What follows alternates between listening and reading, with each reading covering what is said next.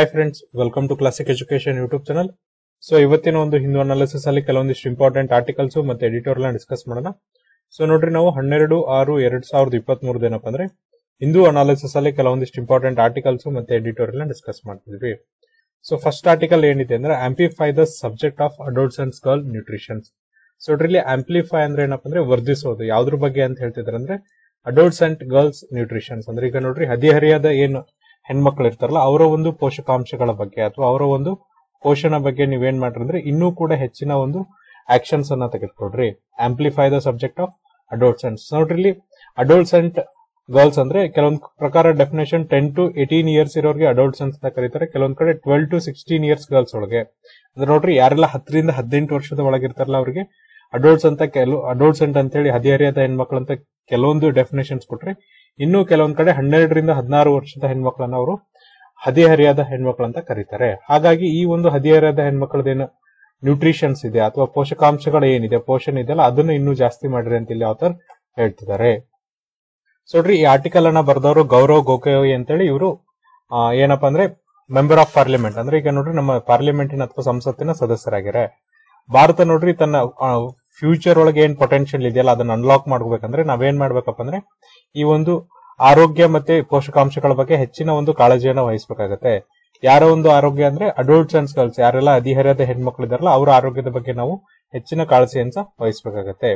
ಯಾಕಂದ್ರೆ ನೋಡ್ರಿ ಈ ಒಂದು ವಯಸ್ಸು ಏನಿರುತ್ತೆ, ಇದೇನಪ್ಪ ಅಂದ್ರೆ ಒಂದು ಪ್ಯೂರ್ಟಲ್ ಪೀರಿಯಡ್ ಅಂದ್ರೆ ತುಂಬಾ ಮುಖ್ಯವಾಗಿರುತ್ತೆ. ಯಾವ್ದಕ್ಕೋಸ್ಕರ ಅಂದ್ರೆ ಕಾಗ್ನೇಟಿವ್ ಡೆವಲಪ್ಮೆಂಟ್ ಸೊ ನೋಡ್ರಿ ಕಾಗ್ನೇಟಿವ್ ಅಂದ್ರೆ ದೈಹಿಕ ಮತ್ತೆ ಮಾನಸಿಕವಾಗಿ ಸದೃಢವಾಗೋದಕ್ಕೆ ಏನಪ್ಪ ಅಂದ್ರೆ ಈ ಒಂದು ಸಮಯ ತುಂಬಾ ಅವಶ್ಯಕತೆವಾಗಿರುತ್ತೆ. ಹಾಗಾಗಿ ನೋಡ್ರಿ, ಈ ಸಮಯದಲ್ಲಿ ನಾವೇನಾದ್ರೂ ನ್ಯೂಟ್ರಿಷನ್ಸ್ ಅನ್ನ ಜಾಸ್ತಿ ಮಾಡಿದ್ರೆ, ಅಥವಾ ಪೋಷಕಾಂಶಗಳು ಹೇರಳವಾಗಿ ಸಿಗೋಂಗ್ ಮಾಡಿದ್ರೆ, ಅಲ್ಲೇನಾಗತ್ತಂದ್ರೆ ಆ ಒಂದು ಮಹಿಳೆಯ ಅಥವಾ ಆ ಒಂದು ಹೆಣ್ಣು ಮಗಳ ಅಭಿವೃದ್ಧಿ ಅಥವಾ ಅವಳ ಒಂದು ಗ್ರೋತ್ ಇನ್ನೂ ಚೆನ್ನಾಗಿರುತ್ತೆ. ಆಮೇಲೆ ನೋಡ್ರಿ ಅರ್ಲಿ ಪೀರಿಯಡ್ ಅಲ್ಲಿ ಅಂದ್ರೆ ಅವರು ಪ್ರಾಥಮಿಕವಾಗಿರ್ಬೇಕಾರೆ ಅಥವಾ ಬಾಲಕಿ ಆಗಿರ್ಬೇಕಾದ್ರೆ ಏನು ಕೆಲವೊಂದಿಷ್ಟು ನ್ಯೂಟ್ರಿಷನ್ಸ್ ಕೊರತೆಗಳಿರುತ್ತೆ. ಪೋಷಕಾಂಶಗಳ ಕೊರತೆ ಇರುತ್ತಲ್ಲ, ಆ ಪೋಷಕಾಂಶಗಳ ಕೊರತೆಯನ್ನು ನಾವು ನೀಗಿಸಿ ಆ ಒಂದು ಹೆಣ್ಮಗಳಿಗೆ ಏನ್ ಮಾಡ್ತೀವಿ ಅಂದ್ರೆ ಹೆಚ್ಚಿನ ಪೋಷಕಾಂಶನ ಕೊಟ್ಟಂಗಾಗತ್ತೆ. ಆಮೇಲೆ ನೋಡ್ರಿ ಅಡೋಲ್ಸೆನ್ಸ್ ಹೆಲ್ತ್ ಅನ್ನೋದು ಅಥವಾ ಹದಿಹರೆಯದ ಒಂದು ಹೆಣ್ಣು ಮಗಳ ಆರೋಗ್ಯ ಅನ್ನೋದು ತುಂಬಾ ಇಂಪಾರ್ಟೆಂಟ್ ಆಗುತ್ತೆ. ಯಾವಾಗ ಅಂದ್ರೆ ನೋಡ್ರಿ, ಯಾವಾಗ ಮಹಿಳೆ ಏನಪ್ಪ ಅಂದ್ರೆ ಲೇಬರ್ ಫೋರ್ಸ್ ಅಲ್ಲಿ ಪಾರ್ಟಿಸಿಪೇಷನ್ ಮಾಡ್ತಾರೆ ಅಂದ್ರೆ ಯಾವಾಗ ವರ್ಕ್ ಫೋರ್ಸ್ ಬರ್ತಾರಲ್ಲ, ಅವಾಗ ನಮ್ಗೆ ಏನಪ್ಪ ಅಂದ್ರೆ ಅದು ತುಂಬಾ ಇಂಪಾರ್ಟೆಂಟ್ ಆಗಿರುತ್ತೆ. ಈಗ ಒಂದು ಹೆಣ್ಮಗಳು ಒಂದು ಹದಿಹರದ ವಯಸ್ಸು ಅಥವಾ ಅಡೋಲ್ಸೆನ್ಸ್ ಲೈಫ್ ಅಲ್ಲಿ ಏನಪ್ಪ ಅಂದ್ರೆ ತುಂಬಾ ಚೆನ್ನಾಗಿ ಆರೋಗ್ಯವಾಗಿದ್ದಂದ್ರೆ ನಾಳೆ ಅವಳು ನಮ್ಮ ಲೇಬರ್ ಫೋರ್ಸ್ ಅಲ್ಲಿ ಅಥವಾ ವರ್ಕಿಂಗ್ ಕ್ಲಾಸ್ ಅಲ್ಲಿ ಬರೋದಕ್ಕೆ ಅಥವಾ ಕೆಲಸ ಮಾಡೋದಕ್ಕೆ ಹೆಚ್ಚಿನ ಅನುಕೂಲ ಆಗುತ್ತೆ. ಜೊತೆಗೆ ಅವಳು ಇನ್ನೂ ಕೂಡ ಚೆನ್ನಾಗಿ ಪಾರ್ಟಿಸಿಪೇಷನ್ ಅನ್ನ ಮಾಡ್ತಾಳೆ.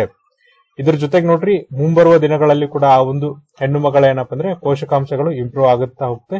ಜೊತೆಗೆ ಅವಳು ಹೆಚ್ಚಿನದಾಗಿ ಏನ್ ಮಾಡ್ತಾರೆ ಅಂದ್ರೆ ಪ್ರೊಡಕ್ಟಿವ್ ಆಕ್ಟಿವಿಟೀಸ್ ಅಂದ್ರೆ ನೋಡ್ರಿ, ಈ ಒಂದು ಉತ್ಪಾದಕತೆ ಇರುವಂತಹ ಚಟುವಟಿಕೆಗಳಲ್ಲಿ ಭಾಗವಹಿಸ್ತಾ ಹೋಗ್ತಾಳೆ. ಹಾಗಾಗಿ ನೋಡ್ರಿ, ಭಾರತಕ್ಕೆ ಒಂದು ಅಪರ್ಚುನಿಟೀಸ್ ಹೇಗಿದೆ. ಏನ್ ಅಪಾರ್ಚುನಿಟೀಸ್ ಇದೆ ಅಂದ್ರೆ India still being young country in the world ಅಂದ್ರೆ ಈಗ ನೋಡ್ರಿ, ಜಗತ್ತಿನಲ್ಲಿ ಅತ್ಯಂತ ಆದ ಯಂಗ್ ಕಂಟ್ರಿ ಅಥವಾ ಯುವಕರನ್ನ ಹೊಂದಿರುವ ದೇಶ ಅಂದ್ರೆ ಅದು ಕೇವಲ ಭಾರತ ದೇಶ ಆಗಿದೆ. ಯಾಕಂದ್ರೆ ನಿಮಗೆ ಗೊತ್ತು ಜಪಾನ್ ಅಲ್ಲಿ ಏನಾಗಿದೆ ಅಂದ್ರೆ ಪಾಪ್ಯುಲೇಷನ್ ಡಿಕ್ಲೈನ್ ಆಗ್ತಾ ಇದೆ. ಜಪಾನ್ ಅಲ್ಲಿ ಏನಪ್ಪಾ ಅಂದ್ರೆ ವಯಸ್ಸಾದವ್ರ ಸಂಖ್ಯೆ ಜಾಸ್ತಿ ಆಗ್ತಿದೆ. ಅದೇ ತರನಾಗಿ ಚೈನಾದಲ್ಲೂ ಕೂಡ ಅಂದ್ರೆ ಈ ತರದ ಒಂದು ಸಮಸ್ಯೆ ಎದುರ್ತಾ ಆಗಿದೆ. ಆದ್ರೆ ನಮಗೆ ಈಗ ಏನಪ್ಪಾ ಅಂದ್ರೆ ಒಂದು ಟ್ರಾನ್ಸಿಷನ್ ಪೀರಿಯಡ್ ಅಲ್ಲಿ ಇದೀವಿ ಯಾವ ಒಂದು ಟ್ರಾನ್ಸಿಷನ್ ಪೀರಿಯಡ್ ಅಂದ್ರೆ ಡೆಮೋಗ್ರಾಫಿಕ್ ಡಿವಿಡೆಂಡ್ ಅಂತ ಕರಿತೀವಿ. ನೋಡ್ರಿ ಡೆಮೋಗ್ರಾಫಿಕ್ ಡಿವಿಡೆಂಡ್ ಅಂದ್ರೆ ಜನಸಂಖ್ಯಾ ಲಾಭಾಂಶ ಅಂತ ನಾವೇನ್ ಕರಿತೀವಿ ಕನ್ನಡದ ಆ ಒಂದು ಜನಸಂಖ್ಯಾ ಲಾಭಾಂಶದ ಒಂದು ಟ್ರಾನ್ಸಿಷನ್ ಪೀರಿಯಡ್ ಅಂದ್ರೆ ಈಗ ನಾವು ತುಂಬಾ ಯುವಕರು ಇರುವಂತ ದೇಶದಿಂದ ಮುಂದೆ ಏನಪ್ಪಾ ಅಂದ್ರೆ ನಮ್ದು ಕೂಡ ಈ ತರ ವಯಸ್ಸಾದವರ ದೇಶದ ಕಡೆ ಹೋಗ್ತಿದೀವಿ. ಈ ಒಂದು ಟ್ರಾನ್ಸಿಷನ್ ಪೀರಿಯಡ್ ಅಲ್ಲಿ ಇರೋದ್ರಿಂದ ನಾವು ಅಪಾರ್ಚುನಿಟಿನ ಇನ್ನೂ ಕೂಡ ಜಾಸ್ತಿ ಮಾಡ್ಕೋಬೇಕು ಯಾವ ತರನಾಗಿ ಈ ಡಿವಿಡೆಂಟ್ ಅನ್ನ ಜಾಸ್ತಿ ಮಾಡ್ಕೋಬೇಕಪ್ಪ ಅಂದ್ರೆ ಈ ಒಂದು ಅಧಿಹರ್ಯದ ಹೆಣ್ಮಕ್ಳು ಏನಿದಾರಲ್ಲ ಅವರ ಒಂದು ನ್ಯೂಟ್ರಿಷನ್ಸ್ ವ್ಯಾಲ್ಯೂ ಅನ್ನ ಜಾಸ್ತಿ ಮಾಡೋದ್ರ ಮೂಲಕ ಅವರಿಗಿರುವಂತಹ ಪೋಷಕಾಂಶಗಳ ಕೊರತೆಯನ್ನು ನೀಗಿಸಿ ಪೋಷಕಾಂಶಗತೆ ಜಾಸ್ತಿ ಮಾಡೋದ್ರಿಂದ ನಾವೇನ್ ಮಾಡ್ಬೋದು ಅಂದ್ರೆ ಈ ಡೆಮೋಗ್ರಫಿಕ್ ಡಿವಿಡೆಂಟ್ ಅಥವಾ ಜನಸಂಖ್ಯಾ ಲಾಭಾಂಶವನ್ನ ಜಾಸ್ತಿ ಮಾಡಬಹುದು ನೋಡ್ರಿ ಭಾರತ ಈಗ ಏನಾಗಿದೆ ಅಂದ್ರೆ ಯುವಕರಿಂದ ಕೂಡಿದ ದೇಶ ಆಗಿದೆ. ಮುಂದಿನ ಮೂವತ್ತು ವರ್ಷದವರೆಗೂ ಅಂದ್ರೆ ಎರಡ್ ಸಾವಿರದ ಐವತ್ತರವರೆಗೂ ಕೂಡ ಏನಪ್ಪಾ ಅಂದ್ರೆ ಯುವಕರಿಂದ ಕೂಡಿದ ವರ್ಷವಾಗಿ, ದೇಶವಾಗಿರುತ್ತೆ. ಹಾಗಾಗಿ ಈ ಒಂದು ಜನಸಂಖ್ಯಾ ಲಾಭಾಂಶವನ್ನು ನಾವು ಪಡೆದುಕೊಳ್ಬೇಕಾಗತ್ತೆ ಪರ್ಟಿಕ್ಯುಲರ್ಲಿ ನೋಡ್ರಿ, ಈ ಒಂದು ಹದಿಹರೆಯದ ಹೆಣ್ಮಕ್ಳು ಇರ್ತಾರಲ್ಲ ಅವ್ರಿಗೆ ಏನಪ್ಪಾ ಅಂದ್ರೆ ಈ ಒಂದು ಪೋಷಕಾಂಶಗಳ ಕೊರತೆ ಜಾಸ್ತಿ ಇರುತ್ತೆ. ಜೊತೆಗೆ ಅವ್ರೇನಂದ್ರೆ ರಕ್ತಹೀನತೆಗೆ ಒಳಗಾಗಿರ್ತಾರೆ ಅಥವಾ ಅನೆಮಿಯಕ್ಕೆ ಒಳಗಾಗಿರ್ತಾರೆ. ಇದಕ್ ಮುಂಚೆ, ಮುಖ್ಯ ಕಾರಣ ಏನಪ್ಪ ಅಂದ್ರೆ ಅವರಿಗೆ ಪ್ರತಿ ತಿಂಗಳಾಗುವಂತ ಋತುಚಕ್ರದಿಂದ ಅವರಿಗೆ ಅಪೋಷಕಾಂಶಕತೆ ಜಾಸ್ತಿ ಇರುತ್ತೆ ಮಾಲ್ನರಿಶ್ಮೆಂಟ್ ಜಾಸ್ತಿ ಇರುತ್ತೆ ಜೊತೆಗೆ ಅಣೆಮಿಯ ಅಥವಾ ರಕ್ತಹೀನತೆ ಜಾಸ್ತಿ ಇರುತ್ತೆ. ಸೊ ನೋಡ್ರಿ, ಇದಕ್ಕೆ ಅವರು ಉದಾಹರಣೆ ಕೊಡ್ತಾ ಹೋಗ್ತಾರೆ, ಒಂದು ಫೈಂಡಿಂಗ್ಸ್ ಪ್ರಕಾರ. ನ್ಯಾಷನಲ್ ಹೆಲ್ತ್ ಫ್ಯಾಮಿಲಿ ಸರ್ವೆ ಅಥವಾ ಎನ್ ಎಫ್ ಎಚ್ ಎಸ್ ಐದರ ಪ್ರಕಾರ ಏನಪ್ಪ ಅಂದ್ರೆ ಎರಡ್ ಸಾವಿರದ ಹತ್ತೊಂಬತ್ತು ಇಪ್ಪತ್ತೊಂದರ ಸರ್ವೆ ಪ್ರಕಾರ ಏನಂದ್ರೆ ಐವತ್ತೊಂಬತ್ತು ಪಾಯಿಂಟ್ ಒಂದು ಪರ್ಸೆಂಟ್ ಅಷ್ಟು ಈ ಹದಿಹರೆಯದ ಹೆಣ್ಮಕ್ಳು ಏನಾಗಿದ್ದಾರೆ ಅಂದ್ರೆ ಅನೇಮಿಕ್ ಆಗಿದ್ದಾರೆ. ಅಂದ್ರೆ ರಕ್ತಹೀನತೆಯಿಂದ ಕೂಡಿದ್ದಾರೆ. ಅದೇ ತರನಾಗಿ national family health survey four ಪ್ರಕಾರ ನೋಡ್ರಿ. ಈ ಟೈಮಲ್ಲಿ ಏನಪ್ಪಾ ಅಂದ್ರೆ ಸ್ಕೂಲ್ ಗೋಯಿಂಗ್ ಚಿಲ್ಡ್ರನ್ಸ್ ಅಂದ್ರೆ ಯಾವೆಲ್ಲ ಹೆಣ್ಮಕ್ಳು ಶಾಲೆಗೆ ಹೋಗ್ತಿದ್ರಲ್ಲ, ಆ ಹೆಣ್ಮಕ್ಳಲ್ಲಿ ಏನಪ್ಪಾ ಅಂದ್ರೆ ನಲ್ವತ್ತೊಂದು ಪಾಯಿಂಟ್ ಒಂಬತ್ತು ಪರ್ಸೆಂಟ್ ಹೆಣ್ಮಕ್ಳು ಏನಾಗಿದೆ ಅಂದ್ರೆ ಅಂಡರ್ ವೇಟ್ ಆಗಿದ್ದಾರೆ. ಅಂದ್ರೆ ಅವರು ವಯಸ್ಸಿಗೆ ತಕ್ಕಂತೆ ಏನ್ ವೇಟ್ ಇರಬೇಕಲ್ಲ ಅದಕ್ಕಿಂತ ಕಮ್ಮಿ ಇದ್ದಾರೆ. ಹಾಗಾಗಿ ನೋಡ್ರಿ, ಈ ನಂಬರ್ಸ್ ನಮಗೆ ಏನ್ ಹೇಳತ್ತಪ್ಪ ಅಂದ್ರೆ ಒಂದು ವರಿಯನ್ನ ತೋರಿಸುತ್ತೆ. ಯಾಕಂದ್ರೆ, ಅವರು ತೂಕ ಹೀನತೆಯಿಂದನೂ ಕೂಡಿದ್ದಾರೆ ದೇ ಆರ್ ಸ್ಟಂಟ್ ಜೊತೆಗೆ ಏನಪ್ಪಾ ಅಂದ್ರೆ ದೇ ಆರ್ ಅನೆಮಿಕ್ ಅವರು ರಕ್ತಹೀನತೆಯಿಂದನೂ ಕೂಡಿದ್ದಾರೆ ಜೊತೆಗೆ ಅವರು ಅಭಿವೃದ್ಧಿ ಸಹ ಆಗ್ತಾ ಇಲ್ಲ.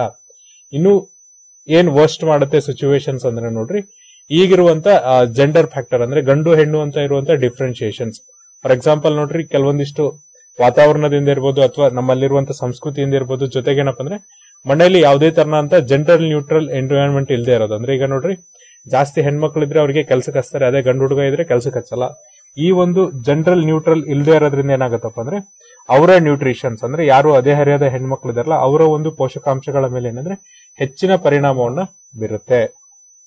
ಅದಕ್ಕೋಸ್ಕರ ನೋಡ್ರಿ ಆಲ್ರೆಡಿ ನಾವು ಕೆಲವೊಂದಿಷ್ಟು ಅಭಿವೃದ್ಧಿ ಕೆಲಸಗಳನ್ನ ಕೈಗೊಂಡಿದ್ವಿ. ಜೊತೆಗೆ ಏನಪ್ಪ ಅಂದ್ರೆ, ಕೆಲವೊಂದಿಷ್ಟು ಅತ್ಯವಶ್ಯಕವಾದಂತಹ ಅತ್ಯವಶ್ಯಕವಾದಂತ ಆರೋಗ್ಯದ ಸೂಚನೆ ಸೂಚಾಂಕಗಳನ್ನ ನಾವು ಏನಪ್ಪಾ ಅಂದ್ರೆ ಸರ್ಕಾರದಿಂದ ಪಡೆದುಕೊಂಡಿದ್ವಿ. ಅಂದ್ರೆ ಸರ್ಕಾರನು ಕೂಡ ಕೆಲವೊಂದಿಷ್ಟು ಯೋಜನೆಗಳನ್ನ ಮಾಡಿ ಅದನ್ನೇನಪ್ಪ ಅಂದ್ರೆ ದೇಶದಾದ್ಯಂತ ಕವರೇಜ್ ಅನ್ನ ಮಾಡಿ ಈ ಒಂದು ಸೂಚ್ಯಾಂಕಗಳನ್ನ ಅಥವಾ ಆರೋಗ್ಯದ ಇಂಡಿಕೇಟರ್ಸ್ನ ಹೆಲ್ತ್ ಇಂಡಿಕೇಟರ್ಸ್ನ ಜಾಸ್ತಿ ಮಾಡಿದ್ದಾರೆ.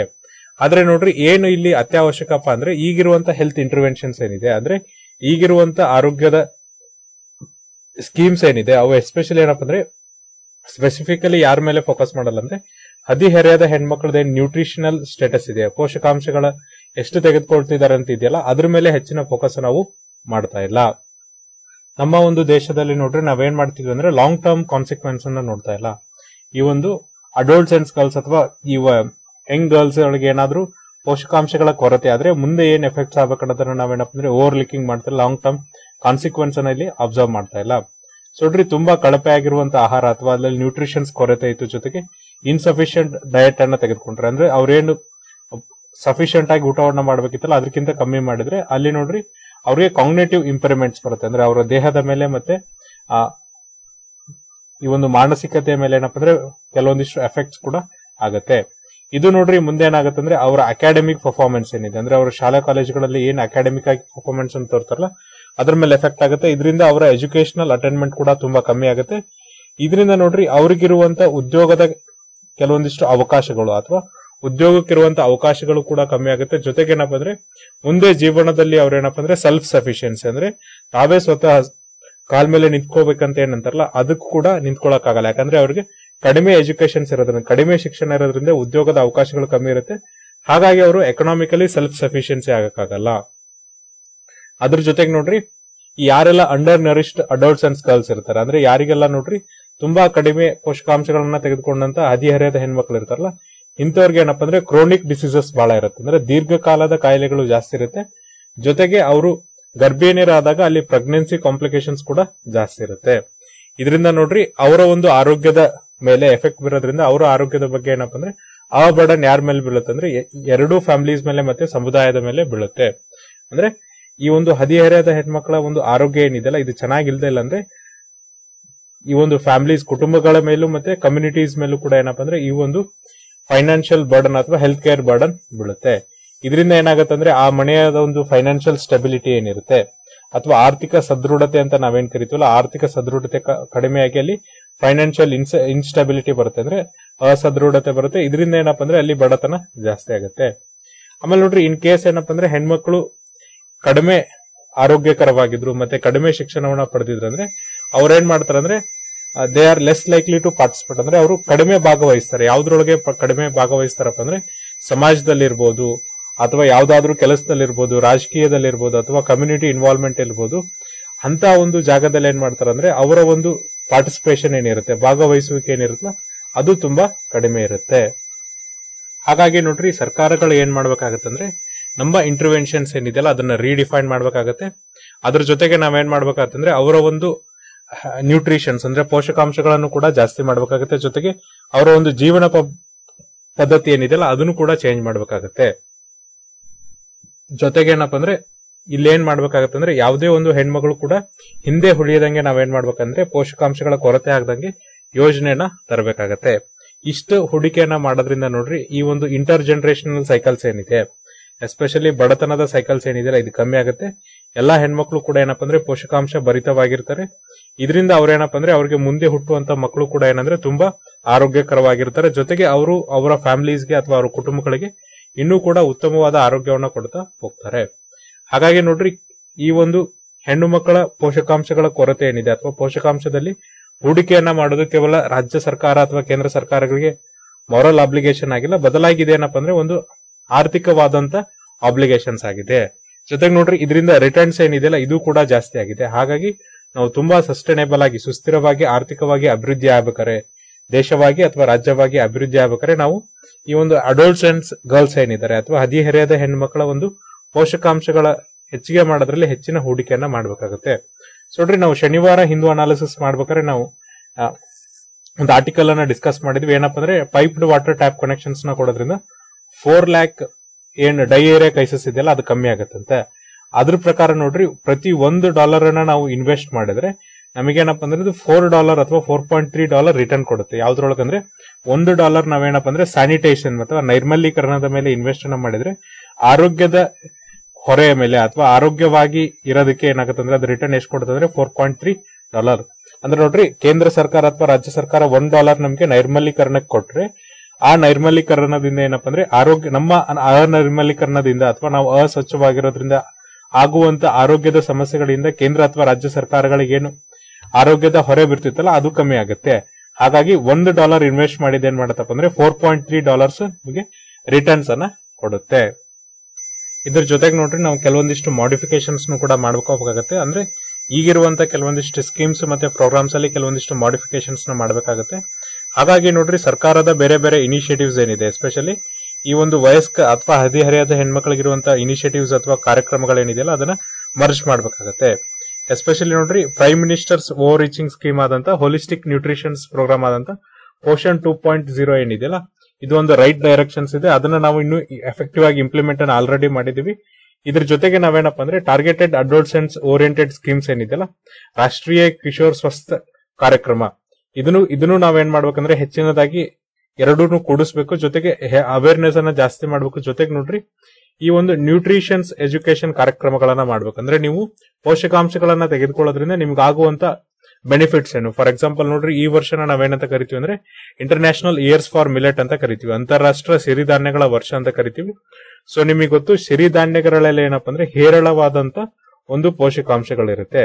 ಹಾಗಾಗಿ ನೋಡ್ರಿ, ನಾವೇನ್ ಮಾಡ್ಬೋದು ಅಂದ್ರೆ ಪೋಷಣ ಅಭಿಯಾನ್ ಮೂಲಕ ಅಥವಾ ಈ ಒಂದು ರೇಷನ್ ಇದ್ರ ಮೂಲಕ ನಾವೇನ್ ಮಾಡ್ಬೋದು ಅಂದ್ರೆ ಈ ಒಂದು ಪೋಷಕಾಂಶಗಳನ್ನ ಜಾಸ್ತಿ ಮಾಡಬಹುದು ಇತ್ತೀಚೆಗೆ ನೋಡ್ರಿ, ಈ ಮಹಿಳೆಯರಲ್ಲಿ ಎನೆಮಿಯಾ ಜಾಸ್ತಿ ಇದೆ ಅಂತ ಒಂದೇ ಒಂದು ಕಾರಣಕ್ಕೋಸ್ಕರ ಏನ್ ಮಾಡ್ತಿದ್ರು ಅಂದ್ರೆ ಏನ್ ರೇಷನ್ ಅಲ್ಲಿ ಅಥವಾ ನಿಮಗೆ ಫಾರ್ ಎಕ್ಸಾಂಪಲ್ ಏನ್ ಹೇಳ್ಬೋದು ಅಂದ್ರೆ ಪಬ್ಲಿಕ್ ಡಿಸ್ಟ್ರಿಬ್ಯೂಷನ್ ಸಿಸ್ಟಮ್ ಏನಿದೆ ಪಿ ಡಿ ಎಸ್ ಮೂಲಕ ನೀವೇನ್ ರೇಷನ್ ತಗೊಂತಿರಲ್ಲ ಈ ಸಿಸ್ಟಮ್ ಮೂಲಕ ನಿಮ್ಗೆ ಏನ್ ಅಕ್ಕಿ ಕೊಡ್ತಿದ್ರಲ್ಲ, ಅದನ್ನ ಏನ್ ಮಾಡಿದ್ರೆ ಅಂದ್ರೆ ಈಗ ಫೋರ್ಟಿಫೈಡ್ ರೈಸ್ ಅನ್ನ ಮಾಡಿದ್ದಾರೆ. ಸೊ ನೋಡ್ರಿ ಫೋರ್ಟಿಫೈಡ್ ರೈಸ್ ಅಂದ್ರೆ ಬಲವರ್ಧಿತ ಅಕ್ಕಿ ಅಂತ ನಾವು ಕರಿತೀವಿ. ಇದ್ರೊಳಗೆ ನಿಮ್ಗೆ ಏನ್ ಮಾಡಿದ್ರೆ ಅಂದ್ರೆ ಅಕ್ಕಿ ಜೊತೆಗೆ ಕೆಲವೊಂದಿಷ್ಟು, ಅಕ್ಕಿ ತರದ ಕೆಲವೊಂದಿಷ್ಟು ಕಾಳುಗಳು ಬರುತ್ತೆ. ಅವೇನಾಗಿರ್ತಾವಪ್ಪ ಅಂದ್ರೆ ಅದರೊಳಗೆ ವಿಟಮಿನ್ ಬಿ ಟ್ವೆಲ್ವ್ ಅನ್ನ ಇರುತ್ತೆ. ಜೊತೆಗೆ ಐರನ್ ಫೋಲಿಕ್ ಆಸಿಡ್ ಅನ್ನ ಹೊಂದಿರುತ್ತೆ. ಅಂದ್ರೆ ಸರ್ಕಾರದವ್ರು ಏನ್ ಮಾಡ್ತಾ ಇದಾರೆ ಅಂದ್ರೆ ಈ ಪೋಷಕಾಂಶಗಳ ಕೊರತೆಯನ್ನ ನೀಗಿಸ್ಕೋಸ್ಕರ ಈ ಒಂದು ರೇಷನ್ ಅಂಗಡಿಗಳ ಮೂಲಕ ನಿಮ್ಗೆ ಏನ್ ಮಾಡ್ತಿದ್ರಪ್ಪ ಅಂದ್ರೆ ಬಲವರ್ಧಿತವಾದಂತ ಅಕ್ಕಿಗಳನ್ನ ಕೊಡ್ತಿದ್ದಾರೆ. ಯಾಕಂದ್ರೆ ನಿಮ್ಮಲ್ಲಿ ಎನೆಮಿಯಾ ಏನಿದೆ? ನಮ್ಮ ದೇಶದಲ್ಲಿ ನೋಡ್ರಿ ಐವತ್ತು ಪರ್ಸೆಂಟ್ ಹೆಣ್ಮಕ್ಳಲ್ಲಿ ಎನೆಮಿಯಾ ಅಥವಾ ರಕ್ತಹೀನತೆ ಇರುತ್ತಲ್ಲ, ಇದನ್ನ ನಿವಾರಣೆ ಮಾಡೋದಕ್ಕೋಸ್ಕರ ಏನ್ ಮಾಡ್ತಿದಾರಪ್ಪ ಅಂದ್ರೆ ಫೋರ್ಟಿಫೈಡ್ ರೈಸ್ ಅಥವಾ ಬಲವರ್ಧಿತ ಅಕ್ಕಿಯನ್ನ ಕೊಡ್ತಿದ್ದಾರೆ ಹಾಗಾಗಿ ಅದರೊಳಗಡೆ ಏನಿರುತ್ತೆ ಅಂದ್ರೆ ನಿಮಗೆ ವಿಟಮಿನ್ ಬಿ ಟ್ವೆಲ್ ಮತ್ತೆ ಐರನ್ ಫೋಲಿಕ್ ಆಸಿಡ್ ಏನಪ್ಪ ಅಂದ್ರೆ ಅಕ್ಕಿ ತರಾನೇ ಇರುವಂತ ಇನ್ನೊಂದಿಷ್ಟು ಕಾಳುಗಳನ್ನ ಮಿಕ್ಸ್ ಮಾಡಿ ಈ ಪಬ್ಲಿಕ್ ಡಿಸ್ಟ್ರಿಬ್ಯೂಷನ್ ಸಿಸ್ಟಮ್ ಮೂಲಕ ಪ್ರತಿಯೊಬ್ಬರಿಗೂ ಕೊಡ್ತಾ ಇದ್ದಾರೆ. ಇದ್ರ ಜೊತೆಗೆ ನೋಡ್ರಿ ಇನ್ನೂ ಏನ್ ಮಾಡ್ಬೇಕಂದ್ರೆ ನಾವು ಟಾರ್ಗೆಟ್ ಅನ್ನ ಮಾಡ್ಕೊಂಡು ಮತ್ತೆ ರೀಜನಲ್ ಅಂದ್ರೆ ಸ್ಥಳೀಯವಾಗಿ ನಾವೇನ್ ಮಾಡ್ಬೇಕಂದ್ರೆ ಅಲ್ಲಿರುವಂತ ಜನರ ಸಾಮಾಜಿಕ ಮತ್ತೆ ಬಿಹೇವಿಯರಲ್ ಚೇಂಜಸ್ ಅನ್ನ ಮಾಡಬೇಕು. ಜೊತೆಗೆ ಏನಪ್ಪ ಅಂದ್ರೆ ಯಾರು ಅಧಿಹರಿಯಾದ ಹೆಣ್ಮಕ್ಳಿದ್ದಾರೆ, ವಯಸ್ಕ ಹೆಣ್ಮಕ್ಳಿದಾರಲ್ಲ ಅವರ ಒಂದು ನ್ಯೂಟ್ರಿಷನ್ಸ್ ವ್ಯಾಲ್ಯೂ ಅನ್ನು ಕೂಡ ಚೇಂಜ್ ಮಾಡ್ಬೇಕಾಗತ್ತೆ. ಸೊ ಅವಾಗ ಮಾತ್ರ ಏನಂದ್ರೆ ಈ ನ್ಯೂಟ್ರಿಷನ್ಸ್ ಹೆಚ್ಚಿನ ಬೇಡಿಕೆ ಬರುತ್ತೆ, ಜೊತೆಗೆ ಒಳ್ಳೆ ಅಭ್ಯಾಸಗಳನ್ನು ಕೂಡ ಅವರು ಬೆಳೆಸ್ಕೊಳ್ತಾ ಹೋಗ್ತಾರೆ. ಇನ್ನು ಕೂಡ ನ್ಯೂಟ್ರಿಷನ್ಸ್ ವ್ಯಾಲ್ಯೂ ಅಥವಾ ಪೋಷಕಾಂಶಗಳು ಜಾಸ್ತಿ ಆಗ್ಬೇಕಂದ್ರೆ ನಾವೇನ್ ಮಾಡ್ಬೇಕಂದ್ರೆ ಎಫೆಕ್ಟಿವ್ ಆಗಿ ಬೇರೆ ಬೇರೆ ಡಿಪಾರ್ಟ್ಮೆಂಟ್ ಗಳೇನ್ ಬೇರೆ ಬೇರೆ ಕಾರ್ಯಕ್ರಮಗಳನ್ನು ಹಾಕೊಂಡಿದ್ದೇವೆ ಅವೆಲ್ಲರೂ ಕೂಡಿ ಒಂದು ಕಾರ್ಯಕ್ರಮನ ಮಾಡಿ ಎಲ್ಲರೂ ಸಹಕಾರವನ್ನು ಕೊಟ್ಟು ಅದನ್ನ ಇನ್ನೂ ಎಫೆಕ್ಟಿವ್ ಆಗಿ ಇಂಪ್ಲಿಮೆಂಟ್ ಅನ್ನ ಮಾಡಬೇಕಾಗತ್ತೆ.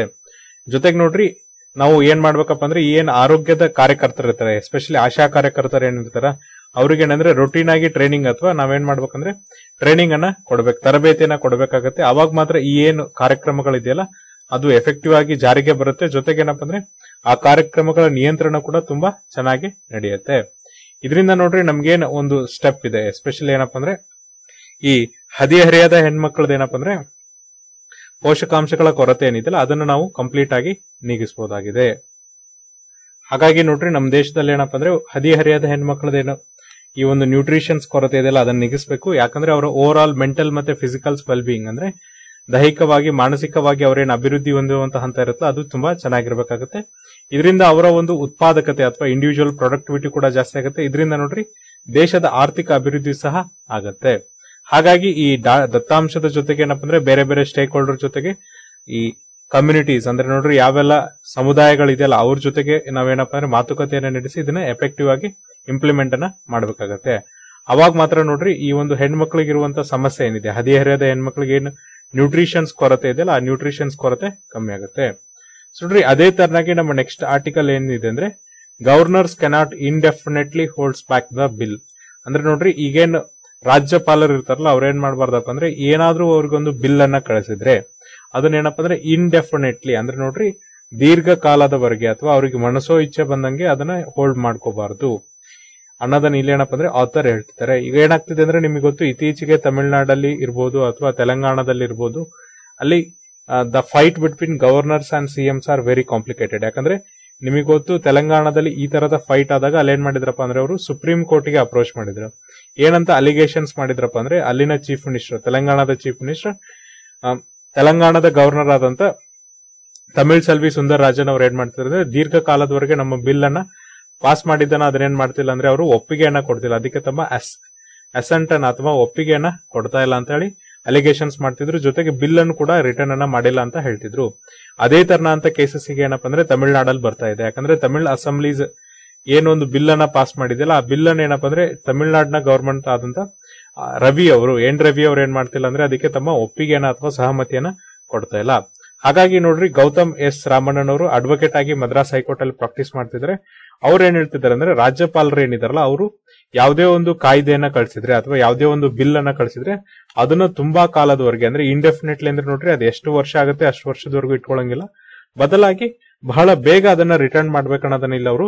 ವಿತ್ ಕಾನ್ಸ್ಟಿಟ್ಯೂಷನ್, ಅಂದ್ರೆ ಸಂವಿಧಾನದ ಪ್ರೊವಿಷನ್ಸ್ ಏನಿದೆ, ಜೊತೆಗೆ ಏನಪ್ಪ ಅಂದ್ರೆ ಸುಪ್ರೀಂ ಕೋರ್ಟ್ನ ಜಜ್ಮೆಂಟ್ ಏನ್ ಕೊಟ್ಟಿದ್ರಲ್ಲ, ಅದ್ರ ಮೇಲೆ ನಿಮ್ಗೆ ಎಕ್ಸ್ಪ್ಲನೇಷನ್ ಅನ್ನ ಮಾಡ್ತಿದ್ದಾರೆ.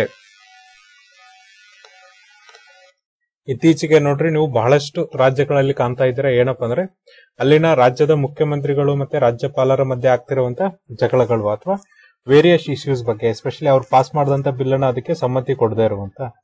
ನೋಡ್ರಿ, ಬಹಳಷ್ಟು ಚೀಫ್ ಮಿನಿಸ್ಟರ್ಗೆ ಏನ್ ಫೇಲ್ ಮಾಡ್ತಿದ್ದಾರೆ ಅಂದ್ರೆ ಗವರ್ನರ್ಸ್ ಏನಿದ್ದಾರೆ ಅವ್ರೇನಪ್ಪ ಅಂದ್ರೆ ತಾವು ಕಳಿಸಿದಂತ ಬಿಲ್ಸ್ ಮೇಲೆ, ಅಂದ್ರೆ ಈಗ ಒಂದು ವಿಧಾನಸಭೆ ಪಾಸ್ ಮಾಡಿದಂತ ಬಿಲ್ಗಳ ಮೇಲೆ ಏನಂದ್ರೆ ಬಹಳಷ್ಟು ಸಮಯದ ಮೇಲೆ ಅವರು ಕೆಲಸವನ್ನ ಮಾಡ್ತಾ ಇಲ್ಲ. ಎಸ್ಪೆಷಲಿ ಏನಂದ್ರೆ ಅವರು ತಮ್ಮ ಒಪ್ಪಿಗೆಯನ್ನು ಸೂಚಿಸಬೇಕು ಅಥವಾ ಅದನ್ನ ರಿಟರ್ನ್ ಆದ್ರೂ ಮಾಡಬೇಕು.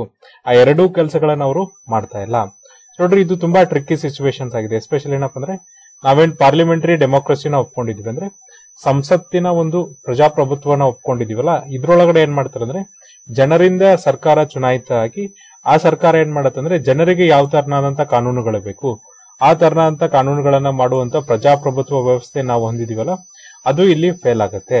ಯಾಕಂದ್ರೆ ಈಗ ನೋಡ್ರಿ, ಚುನಾಯಿತ ಸರ್ಕಾರ ಈ ತರನಾಗಿ ಕಾನೂನುಗಳನ್ನ ಮಾಡ್ಲಾ ಇಲ್ಲ, ಮಾಡ್ಲಿಲ್ಲ ಅಂದ್ರೆ ಇದೇನಾಗತ್ತಪ್ಪ ಅಂದ್ರೆ ಪಾರ್ಲಿಮೆಂಟರಿ ಡೆಮೋಕ್ರಸಿ ಬ್ರೇಕ್ ಡೌನ್ ಆಗುತ್ತೆ. ಅಂದ್ರೆ ಈ ಒಂದು ಪ್ರಜಾಪ್ರಭುತ್ವ ಏನಿದೆ, ಅಥವಾ ನಾವೇನು ಪಾರ್ಲಿಮೆಂಟರಿ ಡೆಮೋಕ್ರಸಿ ಅಥವಾ ಸಂಸತ್ತಿನ ಪ್ರಜಾಪ್ರಭುತ್ವನ ಹೊಂದ್ಕೊಂಡಿದ್ವಲ್ಲ, ಅದು ಕಂಪ್ಲೀಟ್ ಆಗಿ ಫೇಲ್ ಆಗುತ್ತೆ ಮತ್ತೆ ಅದು ಬ್ರೇಕ್ ಡೌನ್ ಆಗುತ್ತೆ. ಹಾಗಾದ್ರೆ ರಾಜ್ಯಪಾಲರ ಪಾತ್ರ ಏನಿರುತ್ತೆ ಅಂದ್ರೆ ಸೊಡ್ರಿ ಒಂದು ರಾಜ್ಯದ ಲೆಜಿಸ್ಲೇಟರ್ ಅಥವಾ ವಿಧಾನಸಭೆ ಅನ್ನೋದು ಏನಿರುತ್ತಂದ್ರೆ, ಸೊಡ್ರಿ ಅಲ್ಲಿ ಯಾರ್ಯಾರು ಇರ್ತಾರಪ್ಪ ಅಂದ್ರೆ ಆ ರಾಜ್ಯದ ರಾಜ್ಯಪಾಲರು ಇರ್ತಾರೆ.